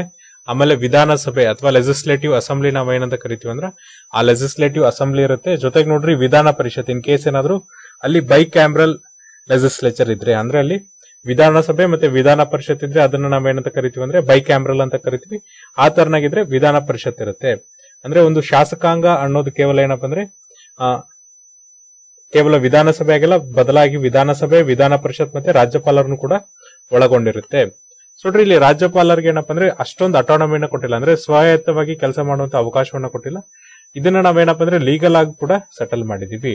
ಸೊ ನೋಡ್ರಿ ಅವ್ರು ತಮ್ಮ ಕೆಲಸಗಳನ್ನ ಏನೇ ಮಾಡೋದಿದ್ರು ಕೂಡ ಏನಪ್ಪಾ ಅಂದ್ರೆ ಈ should act on the aid and advice of the council of minister headed by the chief minister ಅಂದ್ರೆ ಯಾರು ಮಂತ್ರಿ ಮಂಡಳ ಇರುತ್ತಲ್ಲ ಮಂತ್ರಿ ಮಂಡಲದ ಮುಖ್ಯಸ್ಥರಾಗಿರುವಂತ ಮುಖ್ಯಮಂತ್ರಿಗಳ ಸಲಹೆ ಮತ್ತೆ ಸೂಚನೆ ಮೇರೆಗೆ ಏನ್ ಮಾಡ್ಬೇಕಾಗತ್ತೆ ಅಂದ್ರೆ ರಾಜ್ಯಪಾಲರು ಕೆಲಸ ಮಾಡ್ಬೇಕಾಗತ್ತೆ. ನೋಡ್ರಿ ಇನ್ನೊಂದ್ಸರಿ ಹೇಳ್ತೀನಿ. ಮಂತ್ರಿ ಮಂಡಲದ ಸಲಹೆ ಮತ್ತೆ ಸೂಚನೆ ಮೇರೆಗೆ ಮಂತ್ರಿ ಮಂಡಲದ ಮುಖ್ಯನಾಗಿರುವಂತ ಚೀಫ್ ಮಿನಿಸ್ಟರ್ ಸಲಹೆ ಮತ್ತೆ ಸೂಚನೆ ಮೇರೆಗೆ ಏನ್ ಮಾಡ್ಬೇಕಾಗತ್ತೆ ಅಂದ್ರೆ ರಾಜ್ಯಪಾಲರು ಕೆಲಸವನ್ನ ಮಾಡಬೇಕಾಗತ್ತೆ. ನೋಡ್ರಿ ಯಾರು ನಮ್ಮ ಸಂವಿಧಾನವನ್ನ ರಚನೆ ಮಾಡಿದ್ದಾರೆ? ಆ ಸಂವಿಧಾನ ರಚನೆ ಮಾಡಿದವ್ರು ಏನ್ ಹೇಳಿದಾರೆ ಅಂದ್ರೆ ಈ ರಾಷ್ಟ್ರಪತಿಗಳು ಇರ್ಬೋದು ರಾಜ್ಯಪಾಲರು ಇರ್ಬೋದು, ಅವ್ರೇನಪ್ಪ ಅಂದ್ರೆ ಈ ಒಂದು ಕೌನ್ಸಿಲ್ ಆಫ್ ಮಿನಿಸ್ಟರ್ಸ್ ಅಂದ್ರೆ ಮಂತ್ರಿ ಮಂಡಳ ಏನಿರುತ್ತಲ್ಲ, ಅವರ ಮತ್ತು ಸಲಹೆ ಮತ್ತೆ ಸೂಚನೆ ಮೇರೆಗೆ ಮಾತ್ರ ಕೆಲಸವನ್ನ ಮಾಡ್ಬೇಕಂತ ಹೇಳಿದ್ದಾರೆ. ಯಾಕೆ ಈ ತರನಾಗಿ ಹೇಳಿದಾರೆ ಅಂದ್ರೆ ಆಕ್ಚುಯಲ್ ಗವರ್ನೆನ್ಸ್ ಅಥವಾ ಈಗ ಆಡಳಿತ ನಡೆಸೋರು ಯಾರು ಇರ್ಬೇಕಪ್ಪ ಅಂದ್ರೆ, ದೇಶದ ಆಡಳಿತ ನಡೆಸೋರು ಪ್ರಧಾನಮಂತ್ರಿಗಳಾಗಿರ್ಬೇಕು, ಅದೇ ರಾಜ್ಯದ ಆಡಳಿತ ನಡೆಸೋರು ಆಕ್ಚುಯಲ್ ರಿಯಲ್ ಗವರ್ನೆನ್ಸ್ ಯಾರು ಮಾಡಿರ್ಬೇಕಂದ್ರೆ ಚೀಫ್ ಮಿನಿಸ್ಟರ್ ಆಗಿರ್ಬೇಕು. ಈ ಒಂದು ಗವರ್ನರ್ ಮತ್ತೆ ಪ್ರೆಸಿಡೆಂಟ್ ಅನ್ನೋದೇನಂದ್ರೆ ಕೇವಲ ಸಾಂವಿಧಾನಿಕ ಹುದ್ದೆ ಆಗಿದೆ they should act only on the aid and advice of the council of minister headed by the chief minister ಅವರು. ಮಂತ್ರಿಮಂಡಲದ ಹೆಡ್ ಆಗಿರುವಂತ ಮುಖ್ಯಮಂತ್ರಿಗಳ ಸಲಹೆ ಮತ್ತೆ ಸೂಚನೆ ಮೇರೆಗೆ ಮಾತ್ರ ಕೆಲಸ ಮಾಡ್ಬೇಕಾಗ್ತದೆ. ಅಂದ್ರೆ ಮಂತ್ರಿ ಮಂಡಳ ಜೊತೆಗೆ ಅದರ ಮುಖ್ಯಸ್ಥರಾಗಿರುವ ಅಥವಾ ಮುಖ್ಯರಾಗಿರುವಂತ ಮುಖ್ಯಮಂತ್ರಿಗಳ ಸಲಹೆ ಮತ್ತೆ ಸೂಚನೆ ಮೇರೆಗೆ ಕೆಲಸ ಮಾಡಬೇಕಾಗುತ್ತೆ. ಬದಲಾಗಿ ಅವ್ರಿಗೆ ಯಾವುದೇ ತರನಂತ ಸ್ವಾಯತ್ತತೆನ ಕೊಟ್ಟಿಲ್ಲ. ಆದ್ರೆ ನೋಡ್ರಿ, ಇಲ್ಲೂ ಕೂಡ ಒಂದು ಲಿವ್ ಫಾಲ್ಸ್ ಇದೆ. ಕೆಲವೊಂದಿಷ್ಟು ಸಂದರ್ಭಗಳಲ್ಲಿ ಏನಪ್ಪಾ ಅಂದ್ರೆ ರಾಜ್ಯಪಾಲರು ಏನ್ ಮಾಡ್ತಾರೆ ಅಂದ್ರೆ ಅವರ ಡಿಸ್ಕ್ರಿಷನ್ಸ್ ಅಥವಾ ಅವರ ವಿವೇಚನೆ ಮೇರೆಗೆ, ಅವರ ಒಂದು ಸ್ವಂತ ವಿವೇಚನೆ ಮೇರೆಗೆ ಏನ್ ಮಾಡ್ತಾರೆ ಅಂದ್ರೆ, ಈ ಮಂತ್ರಿ ಮಂಡಲ ಕೊಟ್ಟಂತ ಸಲಹೆ ಬಿಟ್ಟು ಅವರು ಅಧಿಕಾರವನ್ನ ಚಲಾಯಿಸ್ತಾರೆ ಅಥವಾ ಕೆಲಸವನ್ನ ಮಾಡ್ತಾರೆ. ಸೊಡ್ರಿ ರಾಜ್ಯಪಾಲರಿಗೆ ಈ ವಿವೇಚನಾ ಅಧಿಕಾರ ಇದೆಯಾ ಇಲ್ವಾ ಒಂದು ಪರ್ಟಿಕ್ಯುಲರ್ ಮ್ಯಾಟರ್ ಅಲ್ಲಿ ಅನ್ನೋದನ್ನ ಏನಪ್ಪಾ ಅಂದ್ರೆ article one sixty three clause two ಅಲ್ಲಿ ಹೇಳಿದ್ದಾರೆ. ಆಮೇಲೆ ನೋಡ್ರಿ, ಈ ಒಂದು ಡಿಸಿಷನ್ಸ್ ಏನಿದೆ ಅಂದ್ರೆ, ರಾಜ್ಯಪಾಲರು ತಮ್ಮ ವಿವೇಚನೆ ಮೇರೆಗೆ ಏನ್ ಕೆಲಸವನ್ನ ಮಾಡಿರ್ತಾರಲ್ಲ, ಇದನ್ನ ಯಾವುದೇ ಒಂದು ಕೋರ್ಟ್ ಅಲ್ಲಿ ಕೂಡ ನೀವು ಚಾಲೆಂಜ್ ಅನ್ನ ಮಾಡಕ್ಕಾಗಲ್ಲ. ಅಂದ್ರೆ ಈಗ ರಾಜ್ಯಪಾಲರು ಒಂದು ನಿರ್ಧಾರವನ್ನ ತೆಗೆದುಕೊಂಡ್ರೆ ಅವರ ವಿವೇಚನೆ ಮೇಲೆ ಅಂದ್ರೆ that cannot be challenge in any court of the law ಅದನ್ನ ನೀವು ಯಾವುದೇ ಒಂದು ಕೋರ್ಟ್ ನಲ್ಲೂ ಕೂಡ ಏನಪ್ಪ ಅಂದ್ರೆ ಚಾಲೆಂಜ್ ಅನ್ನ ಮಾಡಕ್ಕಾಗಲ್ಲ. ಸೊ ನೋಡ್ರಿ Shamsher Singh versus state of Punjab nineteen seventy four cases ಅಲ್ಲಿ ಏನಪ್ಪ ಅಂದ್ರೆ ಸುಪ್ರೀಂ ಕೋರ್ಟ್ ಏನ್ ಹೇಳತ್ತಂದ್ರೆ ಈ ಪ್ರೆಸಿಡೆಂಟ್ ಇರ್ಬೋದು ರಾಷ್ಟ್ರಪತಿಗಳಿರ್ಬೋದು ಅಥವಾ ರಾಜ್ಯಪಾಲರು ಇರ್ಬೋದು, ಅವರು ಅವರ ಡಿಸ್ಕ್ರಿಷನ್ಸ್ ಮೇಲೆ ಅಂದ್ರೆ ವಿವೇಚನೆ ಮೇರೆಗೆ ಯಾವಾಗ ನಿರ್ಧಾರ ತೆಗೆದುಕೊಳ್ಬಹುದು. ಅಂದ್ರೆ ಮಂತ್ರಿಮಂಡಲ ಕೊಟ್ಟಂತ ಸಲಹೆಯನ್ನ ಮೀರಿ ಅವರು ಸ್ವಂತವಾಗಿ ಯಾವಾಗ ನಿರ್ಧಾರವನ್ನ ತೆಗೆದುಕೊಳ್ಬಹುದಪ್ಪ ಅಂದ್ರೆ ಯಾವಾಗ ನೋಡ್ರಿ ಸಂವಿಧಾನ ಅವರಿಗೆ ಎಕ್ಸ್ಪ್ರೆಸಸ್ಲಿ ಹೇಳುತ್ತೆ. ಅಂದ್ರೆ ಸಂವಿಧಾನ ಅವರಿಗೆ ಯಾವಾಗ ಪರ್ಮಿಟ್ಸ್ ಮಾಡುತ್ತಲ್ಲ, ಅವಾಗ ಮಾತ್ರ ಏನಂದ್ರೆ ಅವರು ಮಂತ್ರಿಮಂಡಲದ ಸಲಹೆ ಮತ್ತೆ ಸೂಚನೆಯನ್ನ ಅಥವಾ ಸಲಹೆಯನ್ನ ತೆಗೆದುಕೊಳ್ಬಾರ್ದು ಅಂತ ಹೇಳ್ತಾರೆ. ಯಾರು? ಸುಪ್ರೀಂ ಕೋರ್ಟ್ ಅವರು in Shamsher Singh versus state of Punjab ಕೇಸಲ್ಲಿ. ಅಂದ್ರೆ ರಾಷ್ಟ್ರಪತಿಗಳು, ರಾಜ್ಯಪಾಲರು ತಮ್ಮ ವಿವೇಚನೆಯಲ್ಲಿ ಯಾವಾಗ ಕೆಲಸ ಮಾಡ್ಬೇಕಂದ್ರೆ, ಯಾವಾಗ ಸಂವಿಧಾನ ಅವರಿಗೆ ಎಕ್ಸ್ಪ್ರೆಸಸ್ಲಿ ಹೇಳುತ್ತಲ್ಲ ಅವಾಗ ಮಾತ್ರ ಮಂತ್ರಿಮಂಡಲದ ಸಲಹೆ ಸೂಚನೆಗಳನ್ನ ಬಿಟ್ಟು ಸ್ವಾಯತ್ತಿತವಾಗಿ ಅಥವಾ ವಿವೇಚನೆಯಿಂದ ಅವ್ರು ಏನ್ ಮಾಡ್ಬೇಕಾಗತ್ತೆ ಅಂದ್ರೆ ನಿರ್ಧಾರವನ್ನ ತೆಗೆದುಕೊಳ್ಬೇಕಾಗತ್ತೆ. ವಿಧಿ ಎರಡ್ನೂರ ಪ್ರಕಾರ ನೋಡ್ರಿ, ಯಾವಾಗ್ಲಾದ್ರೂ ನಾವೇನಪ್ಪ ಅಂದ್ರೆ ರಾಜ್ಯಪಾಲರ ಮುಂದೆ ಯಾವ್ದಾದ್ರು ಒಂದು ಕಾಯ್ದೆನ ಇಟ್ಟಾಗ ಅದಕ್ಕೆ ಅವ್ರು ಏನ್ ಮಾಡ್ಬೋದಪ್ಪ ಅಂದ್ರೆ ತಮ್ಮ ಸಮ್ಮತಿಯನ್ನಾದ್ರೂ ಸೂಚಿಸಬಹುದು ಅಥವಾ ಅದನ್ನ ವಿಥೋಲ್ಡ್ ಮಾಡ್ಕೋಬಹುದು ಅಂದ್ರೆ ಅದಕ್ಕೆ ಯಾವುದೇ ಸಮ್ಮತಿ ಸೂಚಿಸದೆ ಪಾಕೆಟ್ ಬಿಟ್ಟೋಣಾದ್ರೂ ಆದ್ರೂ ಮಾಡ್ಕೋಬಹುದು ಅಥವಾ ಅದನ್ನ ರಿಟರ್ನ್ ಆದ್ರೂ ಮಾಡ್ಬೋದು. ಕೆಲವೊಂದಿಷ್ಟು ಸಜೆಷನ್ಸ್ನ ಕೊಟ್ಟು ಮತ್ತೆ ವಿಧಾನಸಭೆಗೆ ಏನ್ ಮಾಡ್ಬೋದಪ್ಪ ಅಂದ್ರೆ ಕಳಿಸಬಹುದಾಗಿದೆ ಆದ್ರೆ ಫಸ್ಟ್ ಪ್ರೊವಿಷನ್ಸ್ ಏನಿದೆ? ಸಮ್ಮತಿ ಕೊಡೋದೇನಿದೆಯಲ್ಲ, ಆ ಸಮ್ಮತಿಯನ್ನ ಕೊಡಬೇಕು ಅಥವಾ ಅದನ್ನ ಅದ್ರ ವಿಥೋಲ್ಡ್ ಮಾಡಿದೀನಿ ಅಂತ ಆದ್ರೂ ಹೇಳಬೇಕು ಅಥವಾ ಅದನ್ನ ರಿಟರ್ನ್ ಆದ್ರೂ ಮಾಡಬೇಕು. ಸೊಡ್ರಿ, ಒಂದೇ ಪ್ರೊವಿಷನ್ ಪ್ರಕಾರ ಏನಪ್ಪಾ ಅಂದ್ರೆ ರಾಜ್ಯಪಾಲರು ಎಷ್ಟು ಸಮಯದಲ್ಲಿ ತಮ್ಮ ಈ ಆಕ್ಷನ್ಸ್ ಗಳನ್ನ ತೆಗೆದುಕೊಳ್ಬೇಕಂದ್ರೆ ಆಸ್ ಸೂನ್ ಆಸ್ ಪಾಸಿಬಲ್ ಅಂದ್ರೆ ಆದಷ್ಟು ಬೇಗ ಅಂತ ಹೇಳಿದ್ದಾರೆ. ಸೊಡ್ರಿ, ಈ ವರ್ಡ್ಸ್ ಅಲ್ಲಿ ನಮ್ಗೆ ಏನಾಗಿದೆ ಅಂದ್ರೆ ಈಗ ಕಾಂಪ್ಲಿಕೇಟೆಡ್ ಆಗಿದೆ. ಯಾಕಂದ್ರೆ ಆಸ್ ಸೂನ್ ಆಸ್ ಪಾಸಿಬಲ್ಗೆ ಯಾವುದೇ ತರನಂತ ಟೈಮ್ ಫ್ರೇಮ್ ಇಲ್ಲ. Within six month within one year two year ಈ ತರನಾದ ಟೈಮ್ ಫ್ರೇಮ್ ಇದ್ರೆ, ಆ ಸಮಯದಲ್ಲಿ ಏನಪ್ಪಾ ಅಂದ್ರೆ ರಾಜ್ಯಪಾಲರು ತಮ್ಮ ಸಮ್ಮತಿಯನ್ನ ಕೊಡ್ಲೇಬೇಕಿತ್ತು. ಆದ್ರೆ, ಈಗ ಅವರು ಆಸ್ ಸೂನ್ ಆಸ್ ಪಾಸಿಬಲ್ ಹೇಳ್ದಂಗೆ, ಆದಷ್ಟು ಬೇಗ ಅಂತ ಹೇಳಿದ್ರಿಂದ ಯಾವುದೇ ತರನಂತ ಟೈಮ್ ಫ್ರೇಮ್ ಇಲ್ದಂಗೆ ಸೊ ನೋಡ್ರಿ ರಾಜ್ಯಪಾಲರು ಏನ್ ಮಾಡ್ತಿದ್ರು ಅಂದ್ರೆ ತಮ್ಮ ವಿವೇಚನೆ ಮೇರೆಗೆ ಕೆಲಸವನ್ನ ಮಾಡ್ತಿದ್ದಾರೆ. ಆಮೇಲೆ ನೋಡ್ರಿ ಇನ್ ಕೇಸ್ ಏನಾದ್ರೂ ಬಿಲ್ ಅನ್ನ ರಿಟರ್ನ್ ಮಾಡೋದಿದ್ರೆ ಎಸ್ಪೆಷಲಿ ಏನಪ್ಪಾ ಅಂದ್ರೆ ಯಾವ್ದಾದ್ರು ಬಿಲ್ ಮನಿ ಬಿಲ್ ಆಗ್ಲಿಲ್ಲ ಅಂದ್ರೆ ಅದನ್ನ ಮಾತ್ರ ಏನ್ ಮಾಡ್ಬೋದು ಅಂದ್ರೆ ರಿಟರ್ನ್ ಅನ್ನ ಮಾಡ್ಬೋದು. ಸೊ ನೋಡ್ರಿ, ಯಾವ ತರನಾಗಿ ರಿಟರ್ನ್ ಮಾಡ್ಬೋದು ಅಂದ್ರೆ ಆ ರಿಟರ್ನ್ ಮಾಡ್ಬೇಕಾದ್ರೆ ಕೆಲವೊಂದಿಷ್ಟು ಸಜೆಷನ್ಸ್ನ ಕೊಡ್ಬೇಕಾಗತ್ತೆ. ಸಂಪೂರ್ಣ ಕಾಯ್ದೆನಾದ್ರೂ ಚೇಂಜ್ ಮಾಡ್ಬೇಕಂತ ಸಜೆಷನ್ನ ಕೊಡ್ಬೇಕಾಗತ್ತೆ. ಆದ್ರೆ ಕೆಲವೊಂದಿಷ್ಟು ಭಾಗವನ್ನಾದ್ರೂ ಚಾಯ್ಸ್ ಚೇಂಜ್ ಮಾಡ್ರಿ.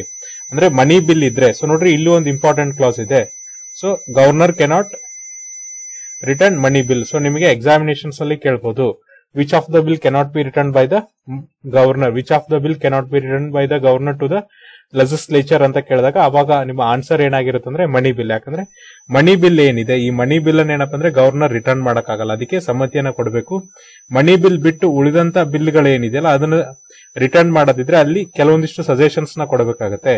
ಅಲ್ಲಿ ನೋಡ್ರಿ, ಕೆಲವೊಂದಿಷ್ಟು ಭಾಗವನ್ನಾದ್ರೂ ಅಥವಾ ಸಂಪೂರ್ಣ ಬಿಲ್ ಆದ್ರೂ ಚೇಂಜ್ ಮಾಡ್ರಿ ಅಂತೇಳಿ ಸಜೆಷನ್ಸ್ನ ಕೊಡಬೇಕಾಗತ್ತೆ. ಅದೇ ತರ ನೋಡ್ರಿ, ಈಗ ಗವರ್ನರ್ ಏನೋ ಬಿಲ್ ಅನ್ನ ರಿಟರ್ನ್ ಮಾಡಿದ್ರು. ಆಗ ಏನಿರುತ್ತಂದ್ರೆ, ಈ ಒಂದು ವಿಧಾನಸಭೆಗಳಿಗೆ ಏನ್ ಮಾಡಿರ್ತಾರಪ್ಪ ಅಂದ್ರೆ, ಆರು ತಿಂಗಳು ಟೈಮ್ ಅನ್ನ ಕೊಟ್ಟಿರ್ತಾರೆ. ಸೊ ನೋಡ್ರಿ, ಆರು ತಿಂಗಳಲ್ಲಿ ಏನಪ್ಪ ಅಂದ್ರೆ, ಈ ಒಂದು ರಾಜ್ಯಪಾಲರ ಸಲಹೆಗಳನ್ನ ಎಕ್ಸೆಪ್ಟ್ ಮಾಡೋದು ಅಥವಾ ರಿಜೆಕ್ಟ್ ಮಾಡೋದಕ್ಕೆ ಆರು ತಿಂಗಳು ಟೈಮ್ ಕೊಟ್ಟಿರ್ತಾರೆ. ಇದಾದ್ಮೇಲೆ ನೋಡ್ರಿ, ಆರು ತಿಂಗಳಾದ್ಮೇಲೆ ಅವ್ರೇನಾದ್ರೂ ಗವರ್ನರ್ಗೆ ಅದೇ ಬಿಲ್ ಅನ್ನ ಕಳ್ಸಿದ್ರೆ, ಅಥವಾ ರಾಜ್ಯಪಾಲರಿಗೆ ಅದೇ ಬಿಲ್ ಅನ್ನ ಕಳ್ಸಿದ್ರೆ, ಆಗ ರಾಜ್ಯಪಾಲರ ಹತ್ರ ಏನಪ್ಪ ಅಂದ್ರೆ, ಬೇರೆ ಆಪ್ಷನ್ಸ್ ಇರಲ್ಲ. ಅಂದ್ರೆ ರಿಟರ್ನ್ ಮಾಡಿದಂತ ಬಿಲ್ ಅನ್ನು ಮತ್ತೆ ಪಾಸ್ ಮಾಡಿದಾಗ ಅವರಿಗೆ ಯಾವುದೇ ತರನಂತ ಆಪ್ಷನ್ಸ್ ಇರಲ್ಲ. ಬದಲಾಗಿ ಅವ್ರೇನ್ ಏನ್ ಮಾಡ್ಬೇಕಾಗತ್ತೆ ಅಂದ್ರೆ ತಮ್ಮ ಅಸೆಂಟ್ ಅಥವಾ ಸಮ್ಮತಿಯನ್ನ ಕೊಡಬೇಕಾಗತ್ತೆ. ಸೊಡ್ರಿ ಅಲ್ಲಿ ಏನಾದ್ರೂ ರೆಕಮೆಂಡೇಶನ್ಸ್ ಅಂದ್ರೆ ಅವ್ರೇನ್ ಶಿಫಾರಸುಗಳು ಕೊಟ್ಟಿದಲ್ಲ, ಅದು ಚೇಂಜ್ ಆಗಿರ್ಲಿ ಚೇಂಜ್ ಆಗದೆ ಇರ್ಲಿ. ಸೆಕೆಂಡ್ ಟೈಮ್ ಬಿಲ್ ಅನ್ನ ಪಾಸ್ ಮಾಡಿದಾಗ ರಾಜ್ಯಪಾಲರು ತಮ್ಮ ಸಮ್ಮತಿಯನ್ನ ಕೊಡಲೇಬೇಕಾಗತ್ತೆ. ಸೊಡ್ರಿ ರಾಜ್ಯಪಾಲರು ಒಂದ್ಸರಿ ಬಿಲ್ ಅನ್ನ ಮಾತ್ರ ರಿಟರ್ನ್ ಮಾಡಬಹುದು ಇನ್ ಕೇಸ್ ಸೆಕೆಂಡ್ ಟೈಮ್ ಆ ಬಿಲ್ ಏನಾದ್ರೂ ಅಸೆಂಬ್ಲಿಯಿಂದ ಪಾಸ್ ಆಗಿ ರಾಜ್ಯಪಾಲರ ಹತ್ರ ಹೋದ್ರೆ he should give his consent ಅವರು ಅವರ ಸಮ್ಮತಿಯನ್ನ ಕೊಡಲೇಬೇಕು. ಅವರಿಗೆ ಬೇರೆ ಯಾವುದೇ ತರನಾದ ಅವಕಾಶಗಳಲ್ಲಿ ಇರುವುದಿಲ್ಲ.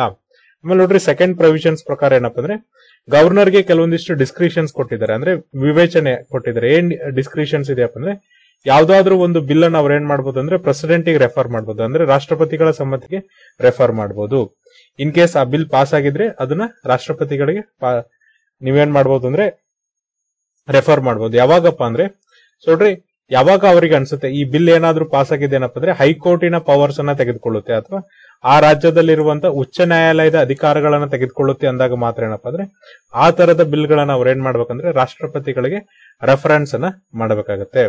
ಅದಕ್ಕೋಸ್ಕರ ಏನು ಪ್ರೊಸೀಜರ್ಸ್ ಇದೆಯಲ್ಲ, ಆ ಪ್ರೊಸೀಜರ್ಸ್ ಅನ್ನ ಅಥವಾ ಯಾವಾಗ ನೀವು ಪ್ರೆಸಿಡೆನ್ಷಿಯಲ್ ಅಸೆಂಟ್ ಅಥವಾ ರಾಷ್ಟ್ರಪತಿಗಳ ಸಮಿತಿಗೆ ಒಂದು ಬಿಲ್ ಅನ್ನ ಕಾಯ್ದೆಗಳನ್ನ ಕಳಿಸ್ಬೇಕನ್ನೋದನ್ನ ಏನಪ್ಪ ಅಂದ್ರೆ ಆರ್ಟಿಕಲ್ ಟೂ ಹಂಡ್ರೆಡ್ ಒನ್ ಅಥವಾ ವಿಧಿ ಎರಡ್ನೂರ ಒಂದು ಸಂವಿಧಾನದಲ್ಲಿ ಏನಪ್ಪ ಅಂದ್ರೆ ಅದನ್ನ ಕಂಪ್ಲೀಟ್ ಆಗಿ ಹೇಳಿದ್ದಾರೆ.